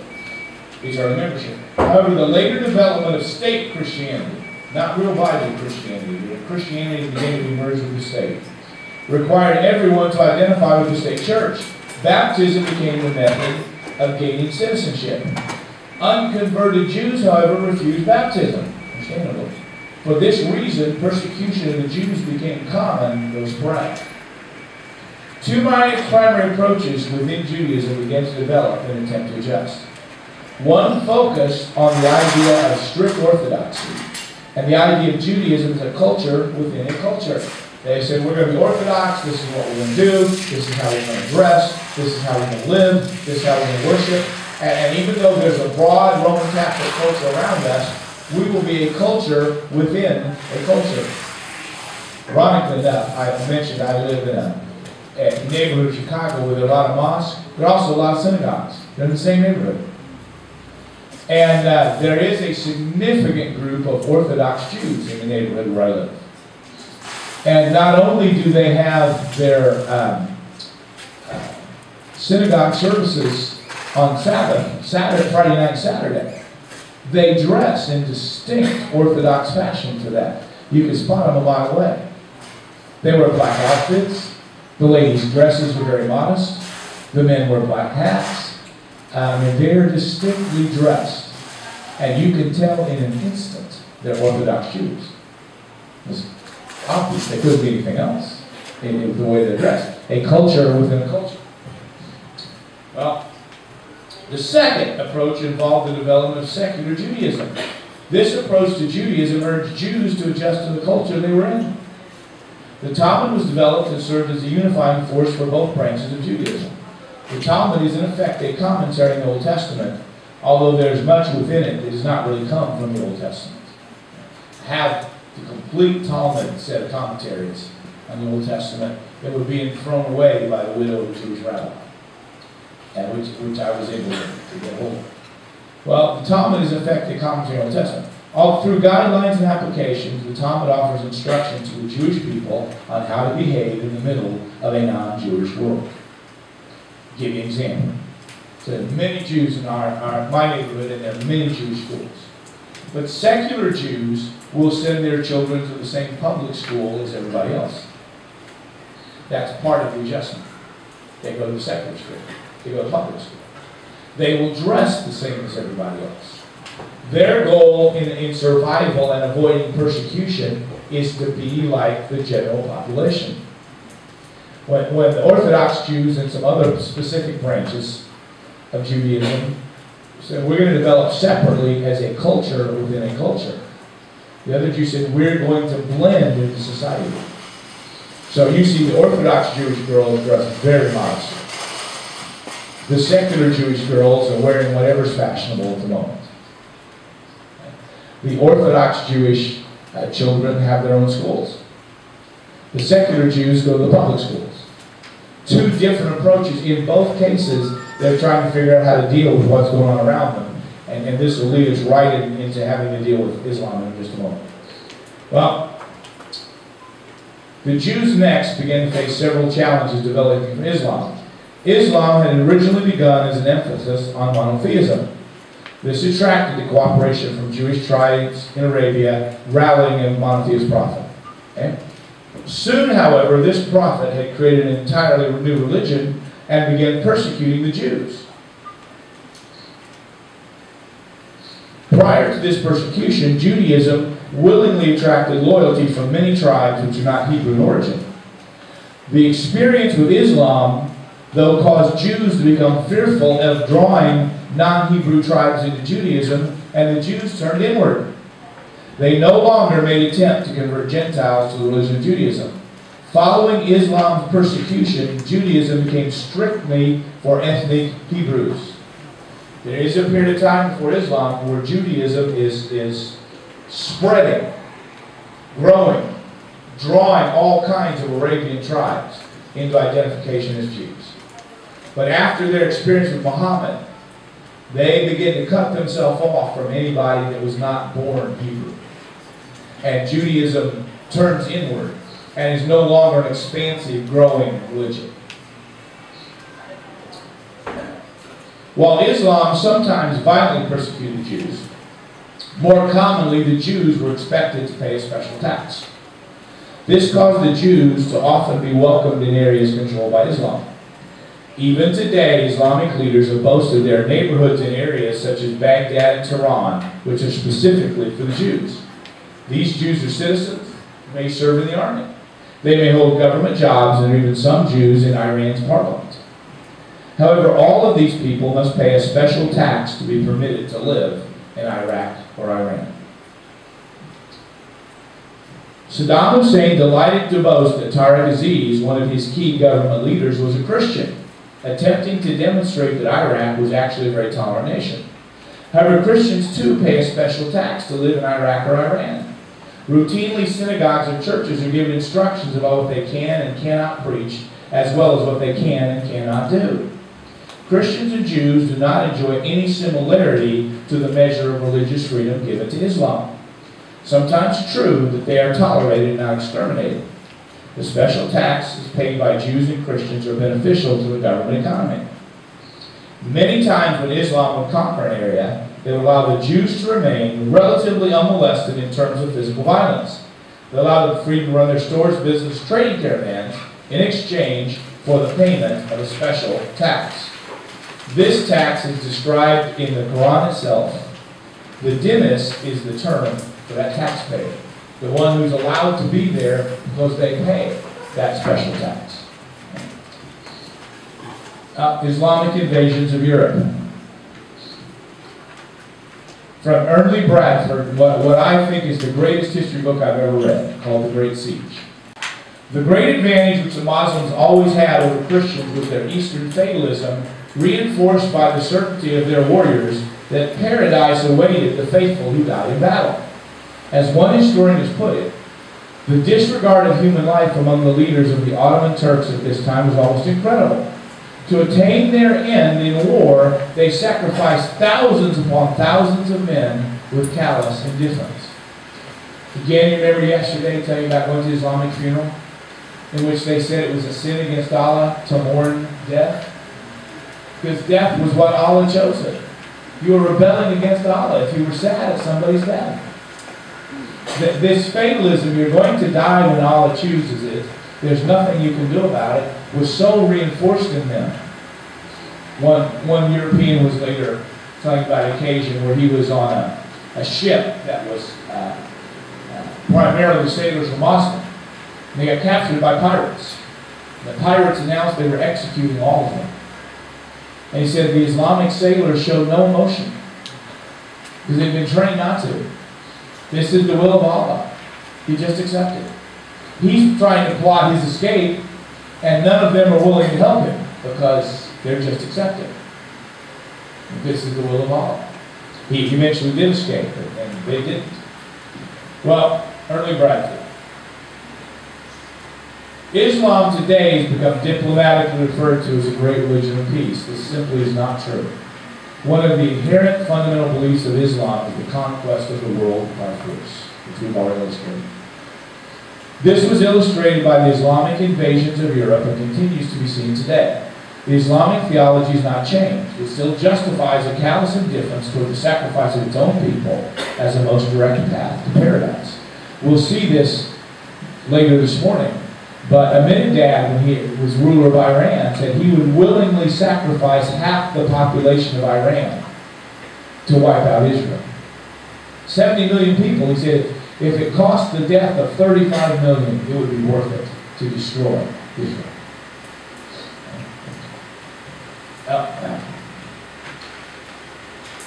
The Ottoman Empire. In the 15th century, Europe finally succeeded in driving Muslim armies out of Spain. However, the Muslim dream of the conquest of Europe did not die. Most of the Muslim empire was under the control of the Turks. Their leader, Sultan Suleiman I, was determined that his destiny was to conquer Europe for Islam. He described himself this way. He's Sultan of the Ottomans, Allah's deputy on earth, Lord of the lords of this world, possessor of men's necks. In other words, he got his head cut off when he chose. King of believers and unbelievers, King of kings, Emperor of the east and west, Emperor of the Chakas and of great authority, Prince and Lord of the most happy constellation, majestic Caesar, seal of victory, refuge of all the people in the whole world, the shadow of the Almighty, dispensing quiet in the earth. These are not the peaceful words of a local leader. These words were spoken with a purpose and destiny to rule the entire world.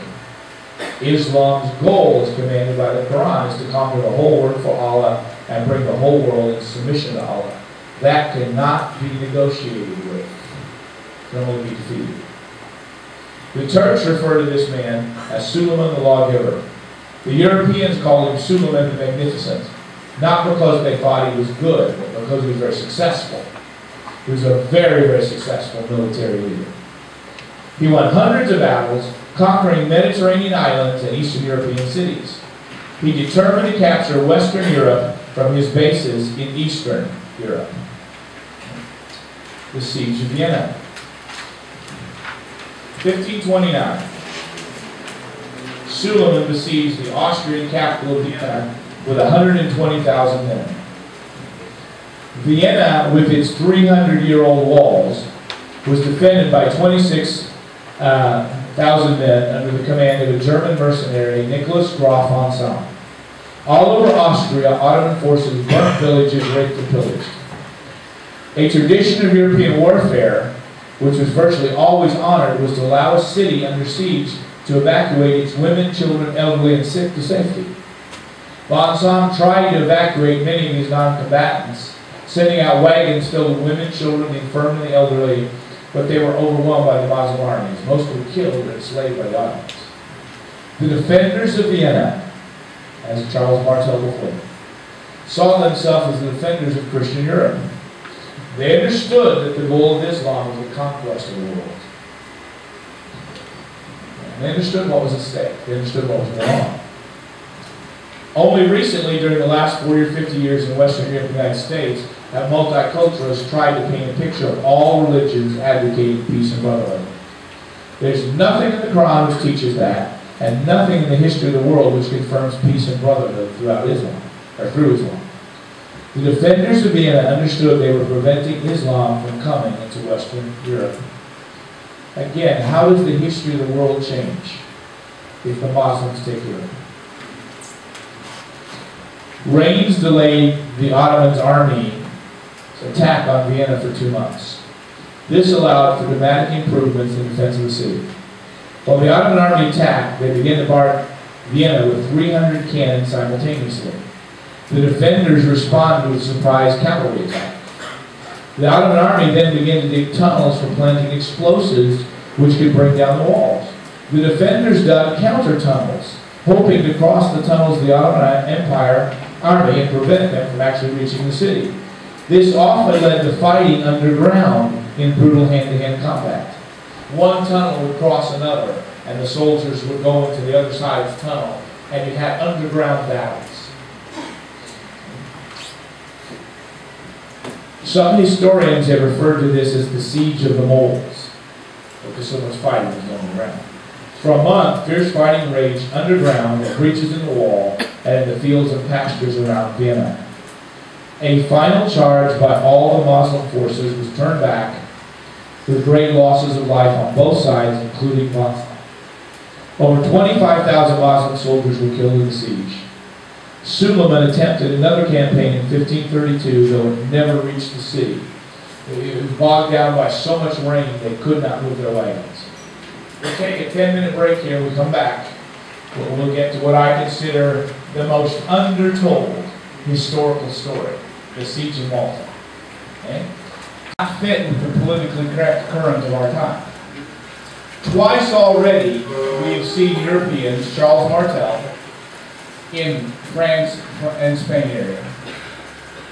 Von Salem in the area of Vienna, Eastern Europe, stop advances of Muslim armies designed to conquer all of Europe.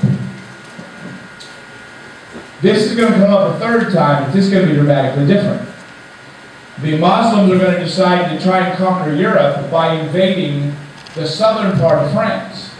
By this time, the, the, the Spanish-French border is heavily fortified.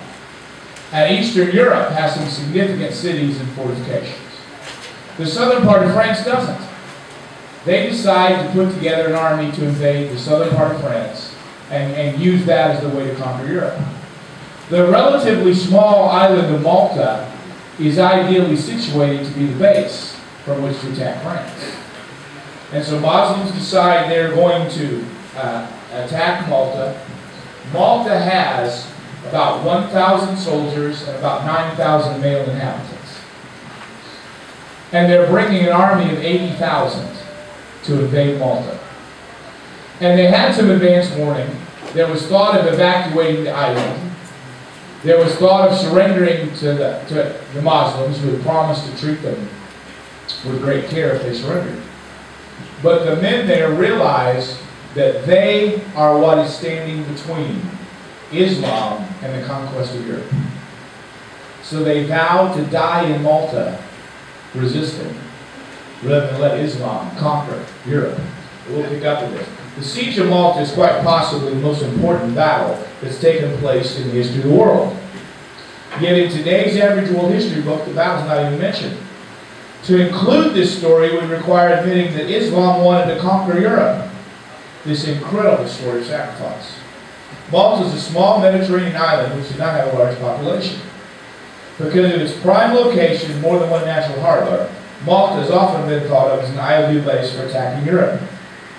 If Malta was conquered by Islam, its forces, which were failing to get into Western Europe by way of the east, could gain access by using the island of Malta as a naval base.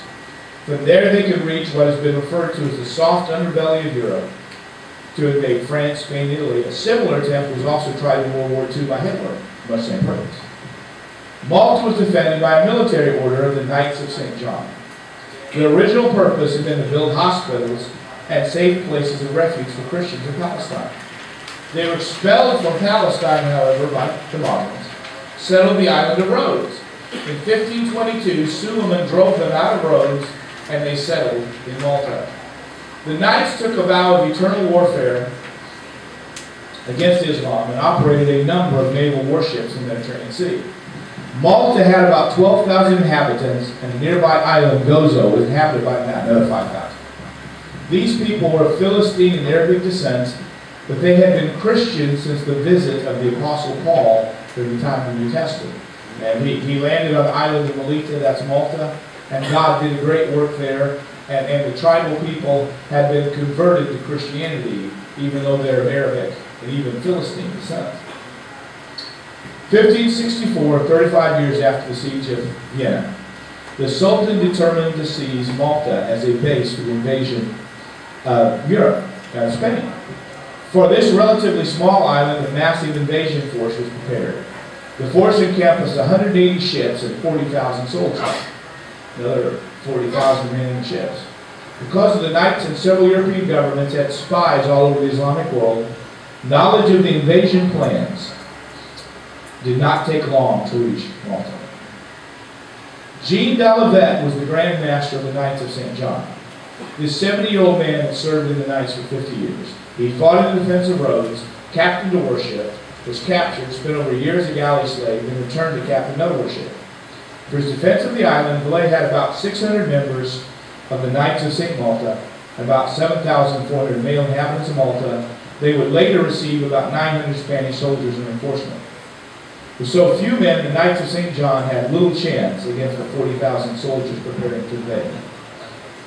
Normally with such odds, a band so small would surrender and hope for mercy. Valette knew, though, that southern Europe was not ready to stand a large-scale Muslim invasion. He felt the future of Christian Europe was in his hands and persuaded the Maltese that God had destined them to defend Christianity with their lives. Let told the men, in the great battle of the cross, it is the great battle of the cross and the Quran which is now to be fought. A formidable army of infidels are on the point of invading our island. We, for our part, are the chosen soldiers of the cross. And if heaven requires the sacrifice of our lives, there can be no better occasion than this. Not exactly the story of dealing with a peaceful religion, is it? They chose to fight because they felt the future of Christian Europe was dependent on their successful defense of the island of Malta.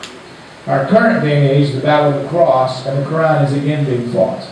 Imagine what would have happened in Malta if the 8,000 men capable of defending the island were divided among themselves as to whether it was their own fault the invaders were coming, whether the invaders' real purpose was actually a peaceful one, whether these men of Malta would actually consider themselves truly Christians. That is how the Western world faces Islam today. Can you imagine them arguing, well, this is a peaceful religion, sending their army here? Valette began to prepare for the battle. He improved fortifications, collected supplies, sent the elderly and infirm to shelter in Spain, and organized the island's defense. He ordered that every post was to be defended to the death, no position was to be abandoned, and no one was to surrender. Muslim soldiers arrived in Malta wearing gold bracelets with the following Arabic inscription. I do not come to Malta for wealth or honor, but to save my soul. They came to die in battle. Because dying in battle meant they went directly to paradise. They could skip hell. Could skip purgatory, if you will. They said, well, they're all wearing bracelets made out of gold. They said, I came here to save my soul. These Muslim soldiers had come to die for Allah and go to paradise. The ultimate issue is always the gospel. These men believed they were earning their way to paradise through the battle. Had they thought their salvation was through faith, they would never have undertaken this. The Muslim forces decided to take St. Elmo, one of five major fortifications, first. They expected this to take two or three days. Surprisingly, though, the fort held out for 31 days. Every night, reinforcements slipped into the doomed fort under the cover of darkness. Over 1,500 defenders ultimately perished, only five escaped. These defenders inflicted over 10,000 casualties on the attackers. Only one surrendered. Night after night, volunteers went into the fort with absolute assurance they were not going to come back out alive. They would fight to the death, and each night new volunteers would come in. There was no question these men believed they carried on their shoulders the entire future of Christianity in Europe. and they were correct. Had Islam defeated Malta and taken Western Europe, the United States would never have been founded on Christian principles. Instead, the U.S. would be another nation whose people were slaves to Islam. Night after night, people whose names you and I have never read and never will read volunteered their lives to prevent Islam from taking Europe. In their sacrifice, they secured our future. It's an incredible story. This kind of thing you expect to make a movie out of, and yet it doesn't even get mentioned in history books. Defenders at the other fortifications turned back attacks day after day. Muslims began to publicly display the bodies of executed prisoners. In response, Valette beheaded his prisoners and shot their heads out of cannon. So it's not pretty, but there's no pretty way to fight a battle like this. Attackers are defended by the thousands. At the end of three months, the defenders had killed about 30,000 of the invading army. With the invading army diminished to less than 10,000, a defense relief force of 10,000 Spanish soldiers had at last arrived. After a final battle, the Turks withdrew. The southern part of Europe would not be invaded. They had won our freedoms as surely as anyone ever did. Yet their story today has been virtually ignored. So my all-time favorite history book, in, in this sense, a man named Ernle Bradford wrote this. It is interesting and historical at the same time. He wrote it in such a fashion you can't put it down you start reading it. But it's history. They're very careful to be accurate. And again, he was not caught by the political correctness of our day. So this is portrayed as the ultimate sacrifice of these people to prevent Europe from being taken over by Islam, which is what it was. That story would not be accepted today because it would portray Islam as it actually is. Well, the Battle of Vienna. Okay? The Ottoman Empire had not given up on Europe. The Ottomans attempted to take Vienna again in 1683. Now this is the fourth time a battle is going to be fought that hinges upon keeping the Muslims from taking Europe. The Ottomans attempt to take Vienna again in 1683. They besieged the city during July, August, and September. For decades, the Ottomans have been providing support to any Catholic elements in Eastern Europe, even evangelical Protestants. They're so desperate to defeat Catholicism. An Ottoman army invaded Austria. Most of the inhabitants fled.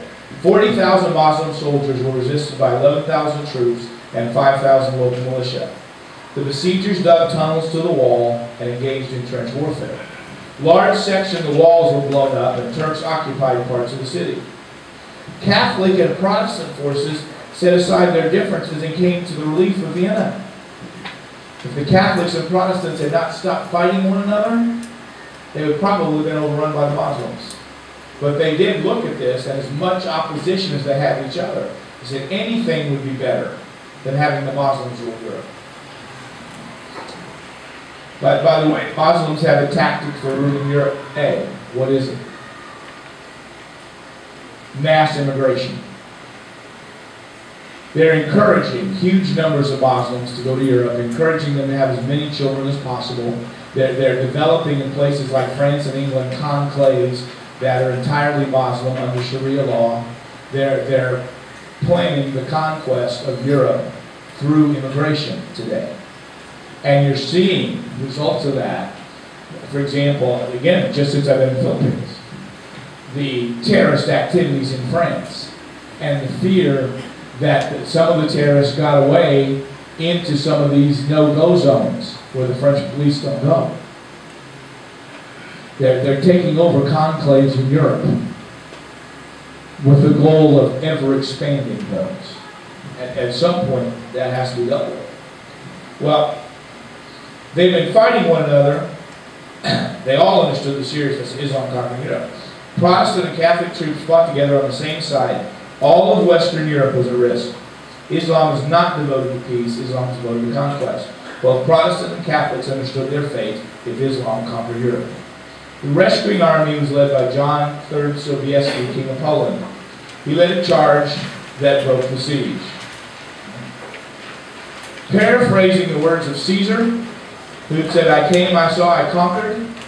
After his great victory, Sobieski said, I came, I saw, God conquered. Muslim forces continued to operate Eastern Europe, but they never again threatened to take control of the West. This is the background of much that is current. Many people watched the conflict of Serbia with Kosovo in the 1990s wondering what all the fighting was about. Simply, there were three groups of people in that area of the world, the Catholics, the Orthodox, and the Muslims, who had been fighting one another for hundreds of years. Ironically, the United States took the side of the Muslims and fought to put Muslims in charge of Kosovo. The U.S. bombed Serbia, Yugoslavia, and Montenegro. I believe that was a horrible mistake.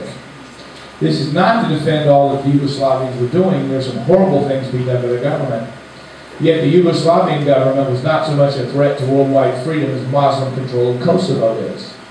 There are Muslims from Kosovo fighting in Afghanistan, Iraq, Chechnya, and Russia. Why, as Christians, do we need to study history? One of our fundamental responsibilities as Bible believers is to learn to view history from a Christian worldview. A Christian cannot, Christian worldview cannot be maintained if we hide from the facts of what has actually happened. What happens in a culture that looks at the world today and says there is no Islamic extremism, Muslim is, Islam is a great peaceful religion, and anybody who thinks otherwise is some sort of a religious bigot. What happens in such a culture? The terrorists can do almost anything they want. They're not being resisted effectively or thoroughly. And you see that all over the place. Even when the United States overthrew the government of Iraq, made no attempt to replace it with a non-Islamic government. Okay? So the idea is if we take out these few bad guys, then the, the peaceful Muslims will take over. It didn't work. By any stretch of the imagination, it didn't work. I think the United States government meant well, but it didn't work. What happens when you don't face history? And, and, and this, and I can only speak about the United States. I know there's a lot of copy of the United States in the Philippines, but I know it's not absolute. I, I can't speak to the, the way things are here. If I give you the idea, in the United States, there are parts of history we never study in the public schools. You know why? It would mess up our preconceived notions, our modern ideas. So you never study the uh, conquest of Islam of territory because we believe all religions are good and peaceful.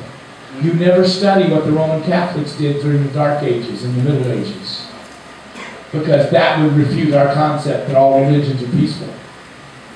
You don't study the things that don't fit what you're trying to convince people. So what happens? You have a population that does not have a clue what's going on in the past. What happens if you don't have a clue what's going on in the past? You don't know how to respond to present. People in rebellion against Christianity, people in rebellion against the Bible, of course try to rewrite the Bible. But that's not the only thing they have to rewrite. They have to rewrite history. In August, I got to spend two weeks in the Amazon River jungle in Colombia. The story of Sophie Mueller, a lady missionary. She goes there in the uh, 1900s, 1950s, I think. She wanted to be a missionary somewhere where no one had ever heard the gospel. She, she goes into a jungle region where there was no record, no trace of the gospel ever having done. Very primitive jungle conditions. Travel is by canoe, for example. And she goes in there, she goes to this first village, and, and, the way that God had worked. She goes to the first village, and uh, they they don't understand what she's saying. They decide to kill her. They poison her food. She gets very sick, but she doesn't die. When she doesn't die, they begin to wonder because the tribe had a legend that one day the daughter of God would come them. So they asked her. Some of them could speak trade Spanish, and she could speak trade Spanish. They asked her, Are you the daughter of God? Well, as a born again, Bible believing Christian lady, what's the answer? Yes. That's not what they were asking. They meant the daughter of God come down from heaven. Mm-hmm. But what they asked her was, Was she the daughter of God? She said yes.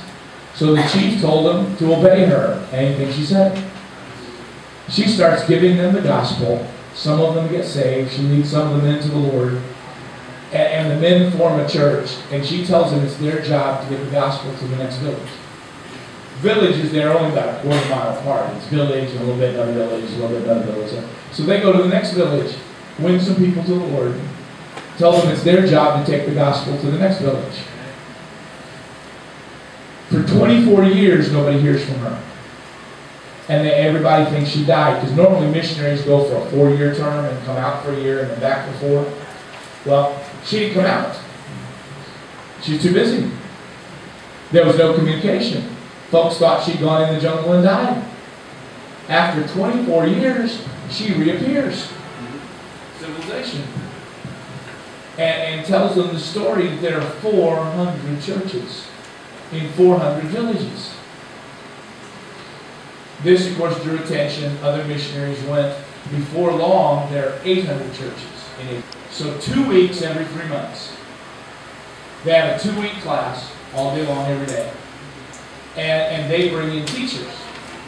Well, in August, my associate pastor, Carl Inkle, and I went, and we were the teachers for the class in August.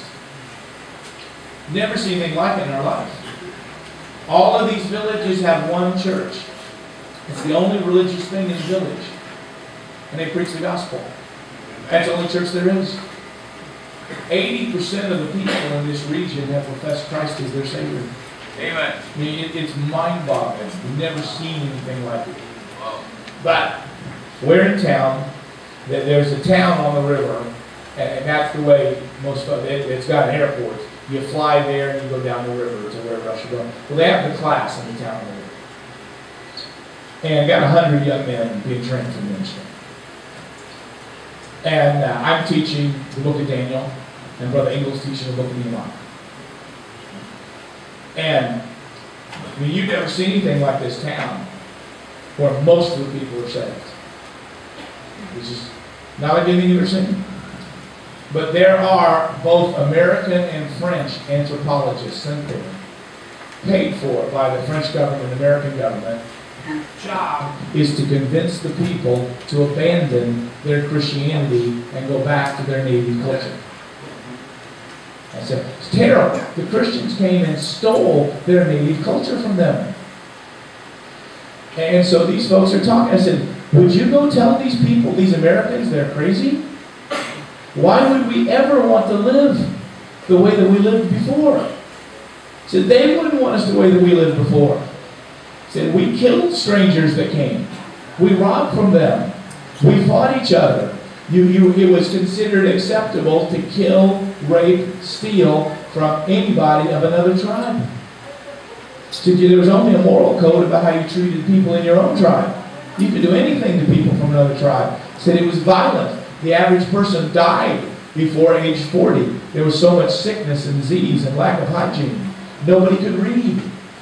It was the missionary that turned their language into writing and taught them to read. Said we, we couldn't write, we couldn't read, we killed one another. People were sick all the time. Why would we want to go back? That's a pretty good question. But the anthropologists were there and said, your culture before Christian, before you were Christians, was your original culture. You should want to live in your original culture. And they're not having any success at all because the people think they're crazy. Why would we want to live like we did before we were Christians? We know what it was like to live like we did before we were Christians. But the anthropologists who are there, they have such a bias against Christianity.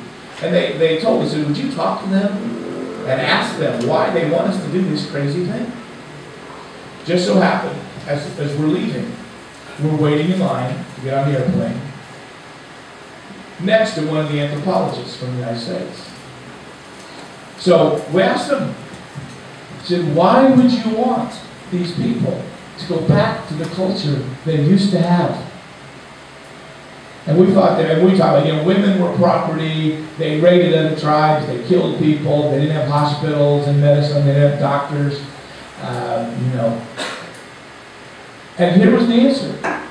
Said, before Christianity came, they accepted homosexuality. And now that they're Christians, they don't accept homosexuality. And they said that's wrong. And they should go back to their culture before they were Christian. Because then they would accept homosexuality. Now, take a guess. Do you think these folks want these people to learn their history? One of the things the men there are concerned about, the young men that are being trained now, never lived under paganism. The young men we were teaching at Bible college have grown up in Christian villages. They have no idea what it was like. The older men remember. The young men have never lived in it. And they're afraid the young men will forget how important Christianity is. So they want them to learn their history, what happened before one woman brought them the gospel. So they're very, they want them to know. Do you think the anthropologists want them to know their history? Not at least. It doesn't fit with their religious ideas. Okay? So they want them to know what happens in the United States today. Multiculturalism has been the, the virtual religious faith of the United States for 50 years. And if you were to teach about the siege of Vienna, or the Sea to Malta, or Muslim conquest, it would refute the religious faith that has replaced Christianity. So there's huge parts of history they just simply ignore. Same thing. You go in, into this area, the Amazon River Basin. Amazon River Basin is huge. There's many areas where there's still no Christianity. But you go into this area, man, you're in town, it's midnight. Elderly ladies and little children feel safe walking around at midnight. There's no crime. There's no alcohol. There is a place, there's a military base there, and there's a place out in the jungle they call the Sin Corner, where there are places, you know, for alcohol and ungodliness and all that, where the soldiers go, but they don't allow it in town. Majority of people are saved, they don't want it around. And, and the liberals look at this and say how terrible this is. That people have to live under this. How awful it is. How horrible it is. But the people who remember, they don't ever want to go back to what it was like before Christianity. We're living in a day and age where in my country, in Western Europe, to whatever degree that, that influences the Philippines, we don't remember the wars with Islam. We haven't been taught. Our people don't know. You the first declared war in United States history was against the Barbary pirates, the Muslims in North Africa.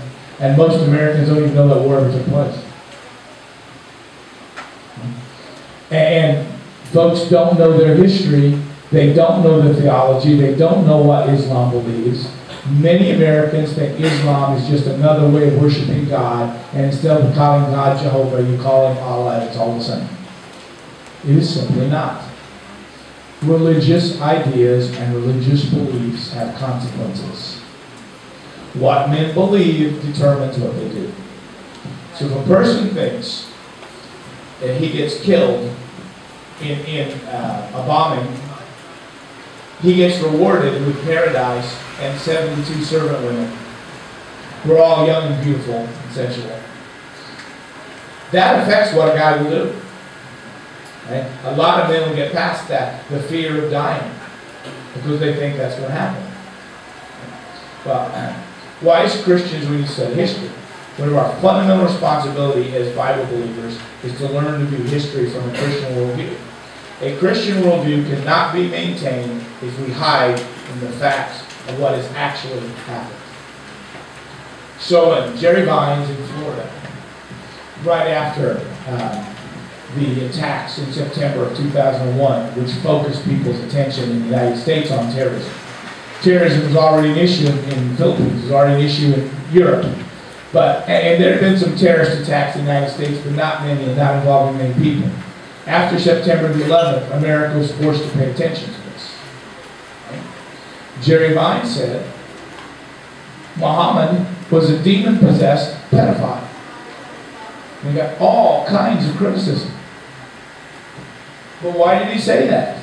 He said, well, it's hate speech. Now, they said, because Muhammad got his revelation from a spirit. So Jerry Vines made the logical assumption, as we did in this class, that spirit was a demon. And he married his last wife when she was nine. Nobody made him marry a nine-year-old. He chose to marry a nine-year-old. And so the answer I say, well, that was common in those days. Well, it was common among wicked, and ungodly people. Just like pedophilia is common among wicked, and ungodly people today. What kind of man chooses a nine-year-old bride? And it's not like he was starved for companionship. He had several wives. So when Jerry Vines called him a demon-possessed pedophile, there was a reason he said that. The American news media went crazy. Franklin Graham, with whom, whom I have some real different disagreements, but he keeps reminding America Islam is not a religion of peace. Look at its record. It's not a religion of peace. It gets all kind of criticism for it. But that's the historical record. It has not been a religion of peace. I pastor a church in Chicago, one of the most liberal cities in the United States. Chicago, the message is constantly being stressed. America is bad and Islam is good. Your children are having this drummed in their heads repeatedly and consistently. The United States has the military power to crush Islam. You say, well, the United States wants to kill all the Muslims. Really? Can you imagine what a few well-placed atomic bombs would do? That was really our goal?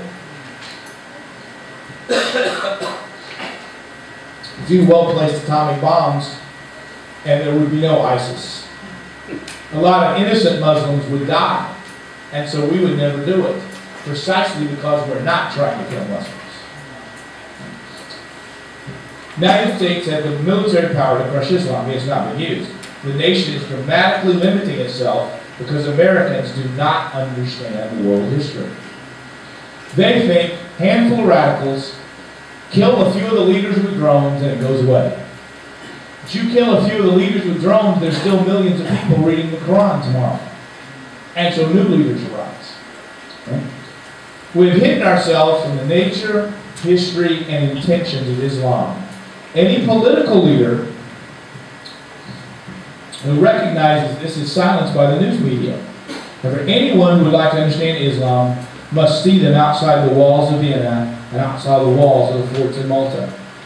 See them sacrificing their men in great numbers. Again, siege of Malta. They have a huge moat built around the main city. And, and so there's this huge ditch between the invading Muslim forces and the walls. They order the Janissaries to go into the ditch and be killed until they filled the ditch up and, and the other forces can walk in on their bodies. And they do it. Again, hey, paradise. 72 beautiful young women. What's the big deal? Dying only takes a moment. Look what you got after that. And, and sadly, what they had after that's an eternity in hell. But that's not what they think when they dive into those ditches being killed by the defenders on the walls. They think they're moments away from paradise and a harem. That's what they think. It'd be a whole lot easier to volunteer to die, drive in the ditch and die if you thought you were going to wake up in eternal flames. Which is what happened to them.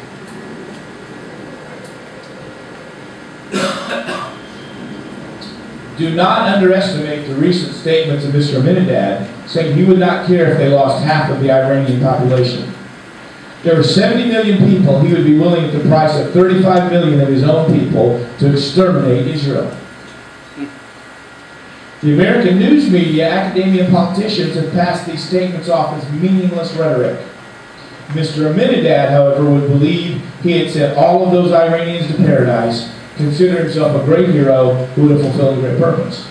Mr. Ahmadinejad has announced his belief that his purpose is to be the one who aligns circumstances for the one that is to rule over all the earth. And he's not in power there anymore, thank God. That doesn't mean he couldn't come back. But he, if he had nuclear weapons, even knowing that Israel has nuclear weapons and would respond, he would use them against Israel. And if it cost him half the Iranian people, he would have thought that was a great service to Allah. Over and over again, we haven't scratched the surface. The, the stories of, of General Gordon in uh, Africa, known as the Christian general, who went to save the Sudan from the Mahdi, the fellow who claimed he was the chosen leader to rule over the world, and he was building that movement, and he attacks cities in the Sudan, and they said what they call Chi- Chinese Gordon because he'd been successful in, in defending cities in, in China to defend it, and the Mahdi overruns him and kills all of them. The, the stories are there over and over and over again. They had sent out a number of civilians, allowing them to evacuate the city. And the Mahdi sends a message asking Gordon to meet with him under the flag of truce. Says, if you'll come meet with me, I have something I want to show you, and I will allow you to return in safety to the. So he comes out, and he shows him the heads of all the people they had beheaded, the civilians trying to evacuate. Said, this is what we're going to do to all of you. You can go back now. This is what Islam has always been. The, our movements wanting to reform Islam, God bless them, may they have all kinds of success. But to pretend they represent Islam today is not realistic. May they grow. The world will be a peaceful, a more peaceful place if they do. It would be easier to do evangelism if that movement grew. But there are tens of millions of Muslims who got up this morning believing it is their sacred duty to kill you. To pretend they're not there is not the solution to anything. Okay? Let's take a 10 minute break and we will come back and, and go as long as you need to on questions. Okay? Uh, facilitate the question. This is from yesterday. So, why why is it the Quran has no other version but the part the our Bible has? Be- Because they had one person in charge. And it is uh, one recognized leader who was in charge of it in the beginning. And, and uh, that just established the text of the Quran and people don't debate it. We don't have anybody in charge to say for everybody this is the right text.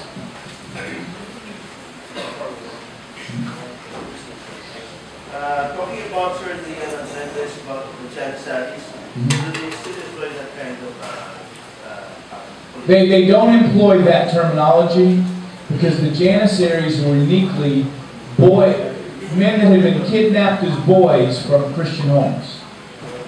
And so they don't have anything officially like that.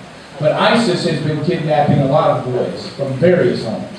And that's the thought is they're, they're trying to prepare something like that. But the Janissaries do not technically exist today.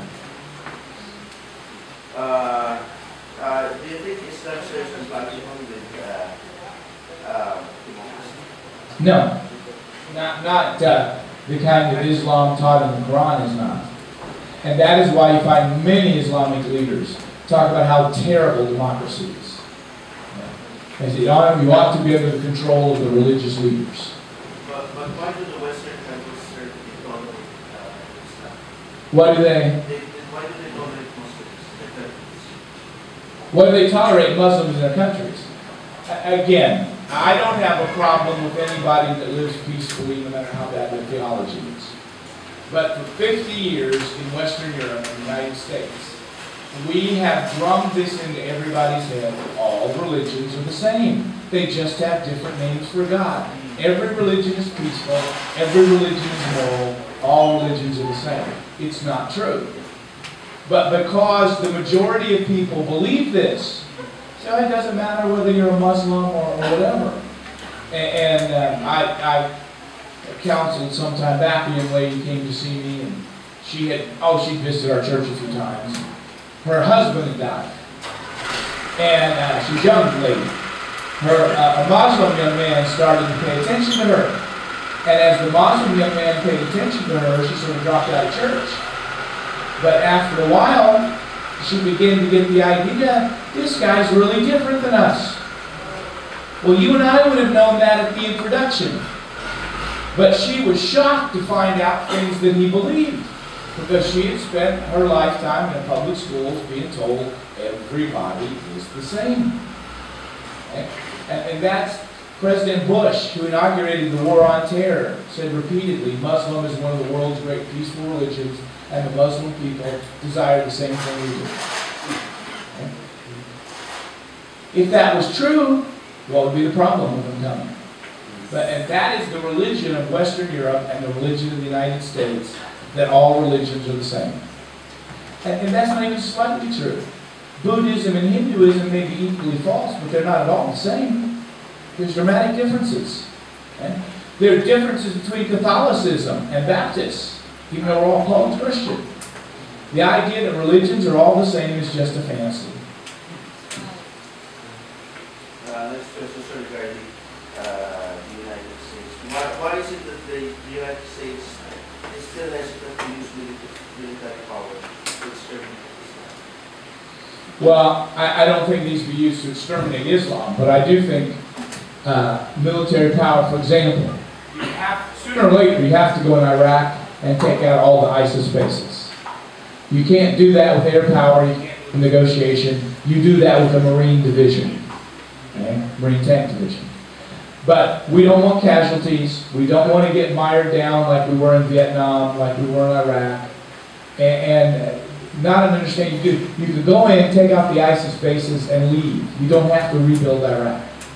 There are three groups in Iraq, they're in civil war with each other, trying to make one nation out of them has never worked. And it did not work when we tried it. And Americans are afraid that if you go back in, you have to do all that over again. I don't believe you should do that. Go in, take out the ISIS bases, see to it they don't have a single base in Iraq and Syria, and then leave and let the people of Iraq and Syria sort out their own problems. And if ISIS reemerges, then you do it again. But the American people don't want um, a repeat of the Iraq War, the aftermath of it. And I was in Alaska, and I was talking to a colonel in one of the Marine divisions that had taken Baghdad. He said, look, an American Marine division with air support can take any position in the world. He said, but we don't know what to do with it after we got it. And that, is the, that was the problem. And it's still the problem. We're not conquerors. We don't know how to occupy a country. Okay? And uh, that's one reason. A second reason, a lot of folks say, why should we be fighting the Muslims? They're just like us. These are just a handful of gangsters. And, and that's not the truth. But uh, America is reluctant, extremely reluctant, and um, that just allows ISIS to grow stronger and stronger. One day we will do it. One day there won't be any choice. But God only knows what happens between now and that day. One day American military might will take them out. They keep daring us to come. They say, we want to fight your Marines in hand-to-hand combat. Trust me when I tell you they don't. They have no idea. They have no idea. The problem is America's political leaders, not their military people. They will take them to pieces. And someday they'll have to. i- is that view, sir, is- that your view, is that popular among Baptist uh. Uh, uh, among Baptists, I think it is. I think, I think every day more American people are coming to this view. I, I would say it wasn't very popular a year ago, but watching all the ISIS barbarity, more and more American people are coming to that. Um, based on your knowledge, do you have any idea America the Philippines and other Christian countries would be in great danger in the hands of Muslims? That's a good question. We're already in danger in terms of terrible terrorist attacks. We've seen them in both countries. The, the question comes, when does it reach a point that they're in danger of taking over the way they have huge sections of Syria and Iraq? We're obviously not there yet. I would like to believe they can't get close without the American people waking up, the American military doing something about it. I, I think you have similar thing in the Philippines to the degree that I know. Your leaders have been hesitant to do everything that's necessary because they don't want to create civilian casualties. Unfortunately, there's no pretty way to fight a war. And, and uh, there's no way to win a war without innocents being killed in the process. But at some point, I have to believe the Filipino government wakes up. At some point, the American government wakes up. We're not there where they're about to take over yet. But that will happen. It'll get closer and closer and closer until at some point the folks are forced to do something. And my own belief that if there's, in the United States, two or three more terrorist attacks, and the American people will be demanding action. I don't think it's going to take a long time. But that would be a big. Yes, I mean, se- seriously, what you need to do is take an American military division, put it in Iraq, and send it to the West. And take an American military division and put it in Jordan, and Jordan's already said they would welcome it, and send it to the East, and you crush everything between you until you meet. And uh, that's, that's extremely doable. I, I was in Syria and was talking with a young lady who just got saved. She's 20, 22 maybe. All of her male relatives, her husband, her brothers, her father, her father-in-law, her cousins, her uncles, had all decided during the war of Iraq, in Iraq, to go attack the Americans in the name of Allah. So they got together, they had hunting rifles, shotguns, whatever. They went into Iraq and attacked a Marine base. They got wiped out. Just mowed down. They had no idea what they were doing. Shotgun is a good range at three, four hundred yards. Marines have rifles that will fire two miles away. And they were mowing them down before they got close enough to fire their weapons. They just have no idea what the American military can really do. And, and at some point, the American military will have to do that. And I, I really do believe the American people will demand that if this goes on much longer. The what?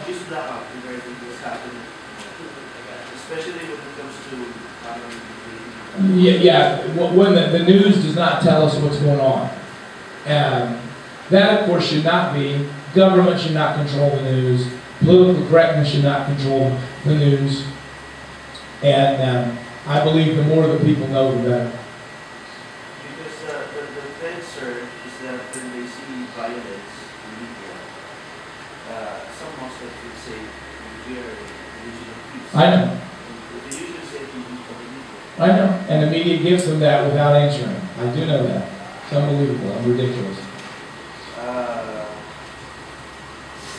talking about the, if, if Islam, uh, would, would conquer the world, is, is this a sign of the tribulation coming? Well, again, there's some people who think, and I think we talked about this yesterday, there's some people who think Islam will be the great one world religion, Mystery Babylon. I believe Islam is a child of Mystery Babylon, as Catholicism is. So I'm, I'm not expecting Islam to conquer the world and, and, and usher in the Antichrist. I do think Islam can do a lot of damage between now and the tribulation. Uh, talking about the last method, or the last page, sir, uh, uh, uh, was that the Egyptian president?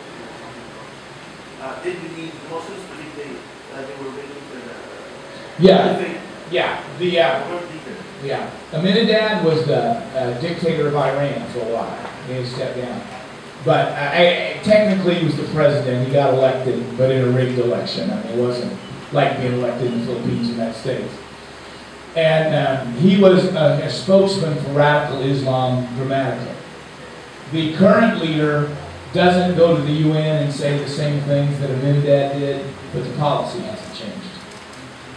But for a while, the Muslim Brotherhood had Egypt, and they, they got elected. okay? But then they began to impose a radical Islamic regime, and the people rose up against them. They did not know what they were voting in when they voted them in. When they realized it, they turned on them. So it's not everybody in the Islamic world that wants all this. It is there in big fashion and it will have to be defeated. Ignoring it will not make it go away.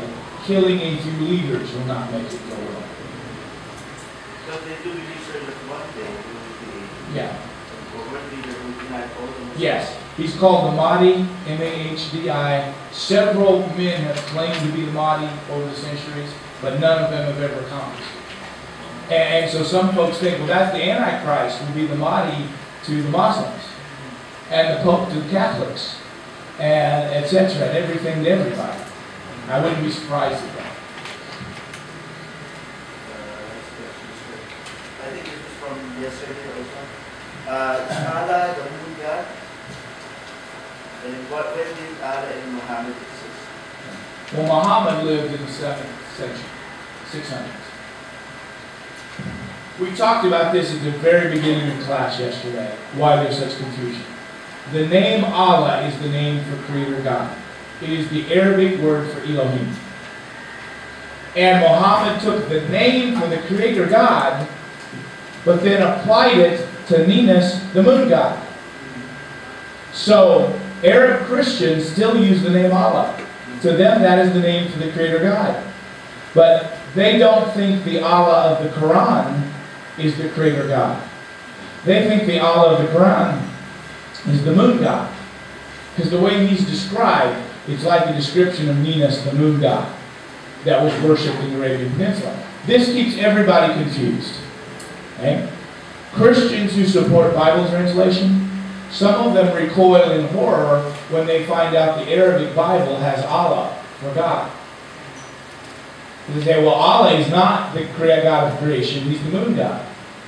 Well, it is when Muslims talk, uh, Muslims use that name for the moon God. But Arab Christians use that name for the creator God. So it, it's, it just creates tremendous confusion. So I prefer to say it this way. The Allah of Muhammad is the moon god. Okay? But there are sincere, wonderful, Bible-believing Arab Christians that use the name Allah too. They mean something completely different than meant. Again, it's like the Jehovah's Witnesses. Is there anything wrong with witnessing for Jehovah? Of course not. Is that what they're really doing? Their Jehovah is not the God of the Bible. They took the name, but they don't mean the same thing.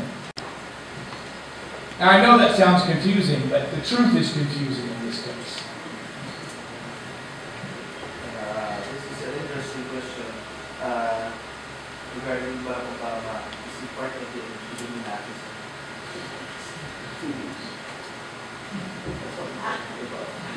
Well, I don't have the latest membership of the Illuminati handy. He believes, when people use the term Illuminati, they, they mean different things. Uh, there was a group called the Illuminati in the 1700s, a very specific group. Those guys are all dead. Now, Barack Obama is one of those people who believes the world should be organized against the creator God.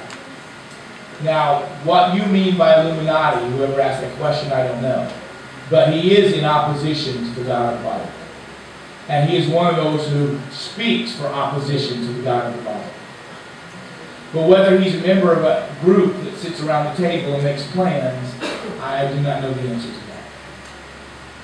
Sir, it it still is a popular uh, belief that uh, Muslims like, uh, love to kill uh, Christians.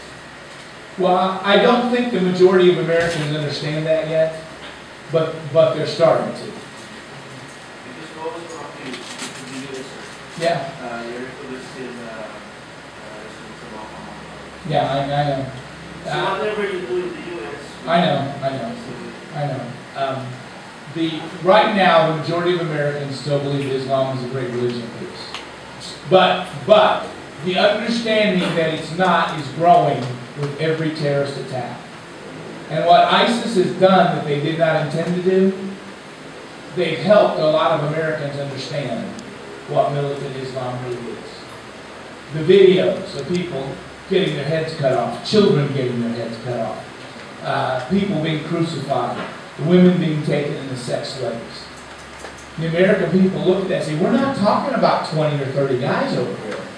We're talking about a couple hundred thousand. And they're doing it in the name of Islam. They don't have to see you kill you. They have no idea what would actually happen. They keep saying, we want the Marines to come, we want the Marines to... They have no idea what they're asking for. But is that, is that happening right now? No, it's not happening right now. But I'm saying, if you wanted, the reason ISIS is so popular is because they're winning battles. There is a way to change that in a hurry. Okay? Put them up against an American Marine tank division and see how many battles they win. I said, talking to a colonel, military base, he said one American Marine tank division with air support can conquer any location in the world, anything. He said, we just don't know what to do with it after we conquer it. I mean, that's true. They can't stand up for them for even moments. And so they're popular because they win battles. Let them have a few defeats and see how popular they are. And the Kurds are fighting them to a standstill in their parts of Iraq already. And uh, give the Kurds, you don't even have to send the soldiers, give the Kurds some American tanks. See what happens. Do you think that's effective, sir? Yeah, I mean, Mus- Muslims attacking uh, yes. Yes. Because what happens, they want to destroy the Kurds as bad as they do us. And the Kurds are a group, they have their own version of Islam. They have not been as anti-Christian and anti-Jewish as other groups. I know people who are Kurds. And um, they know that ISIS wants to kill them. So they see a simple solution. We kill them first. And I'm for giving them all the military equipment they can use. Uh, sir, uh, last question. In general, sir, how do you think we should deal with uh? Again, I said yesterday, deal with them as, when you can talk to them as individuals, deal with them the same way you would anybody else.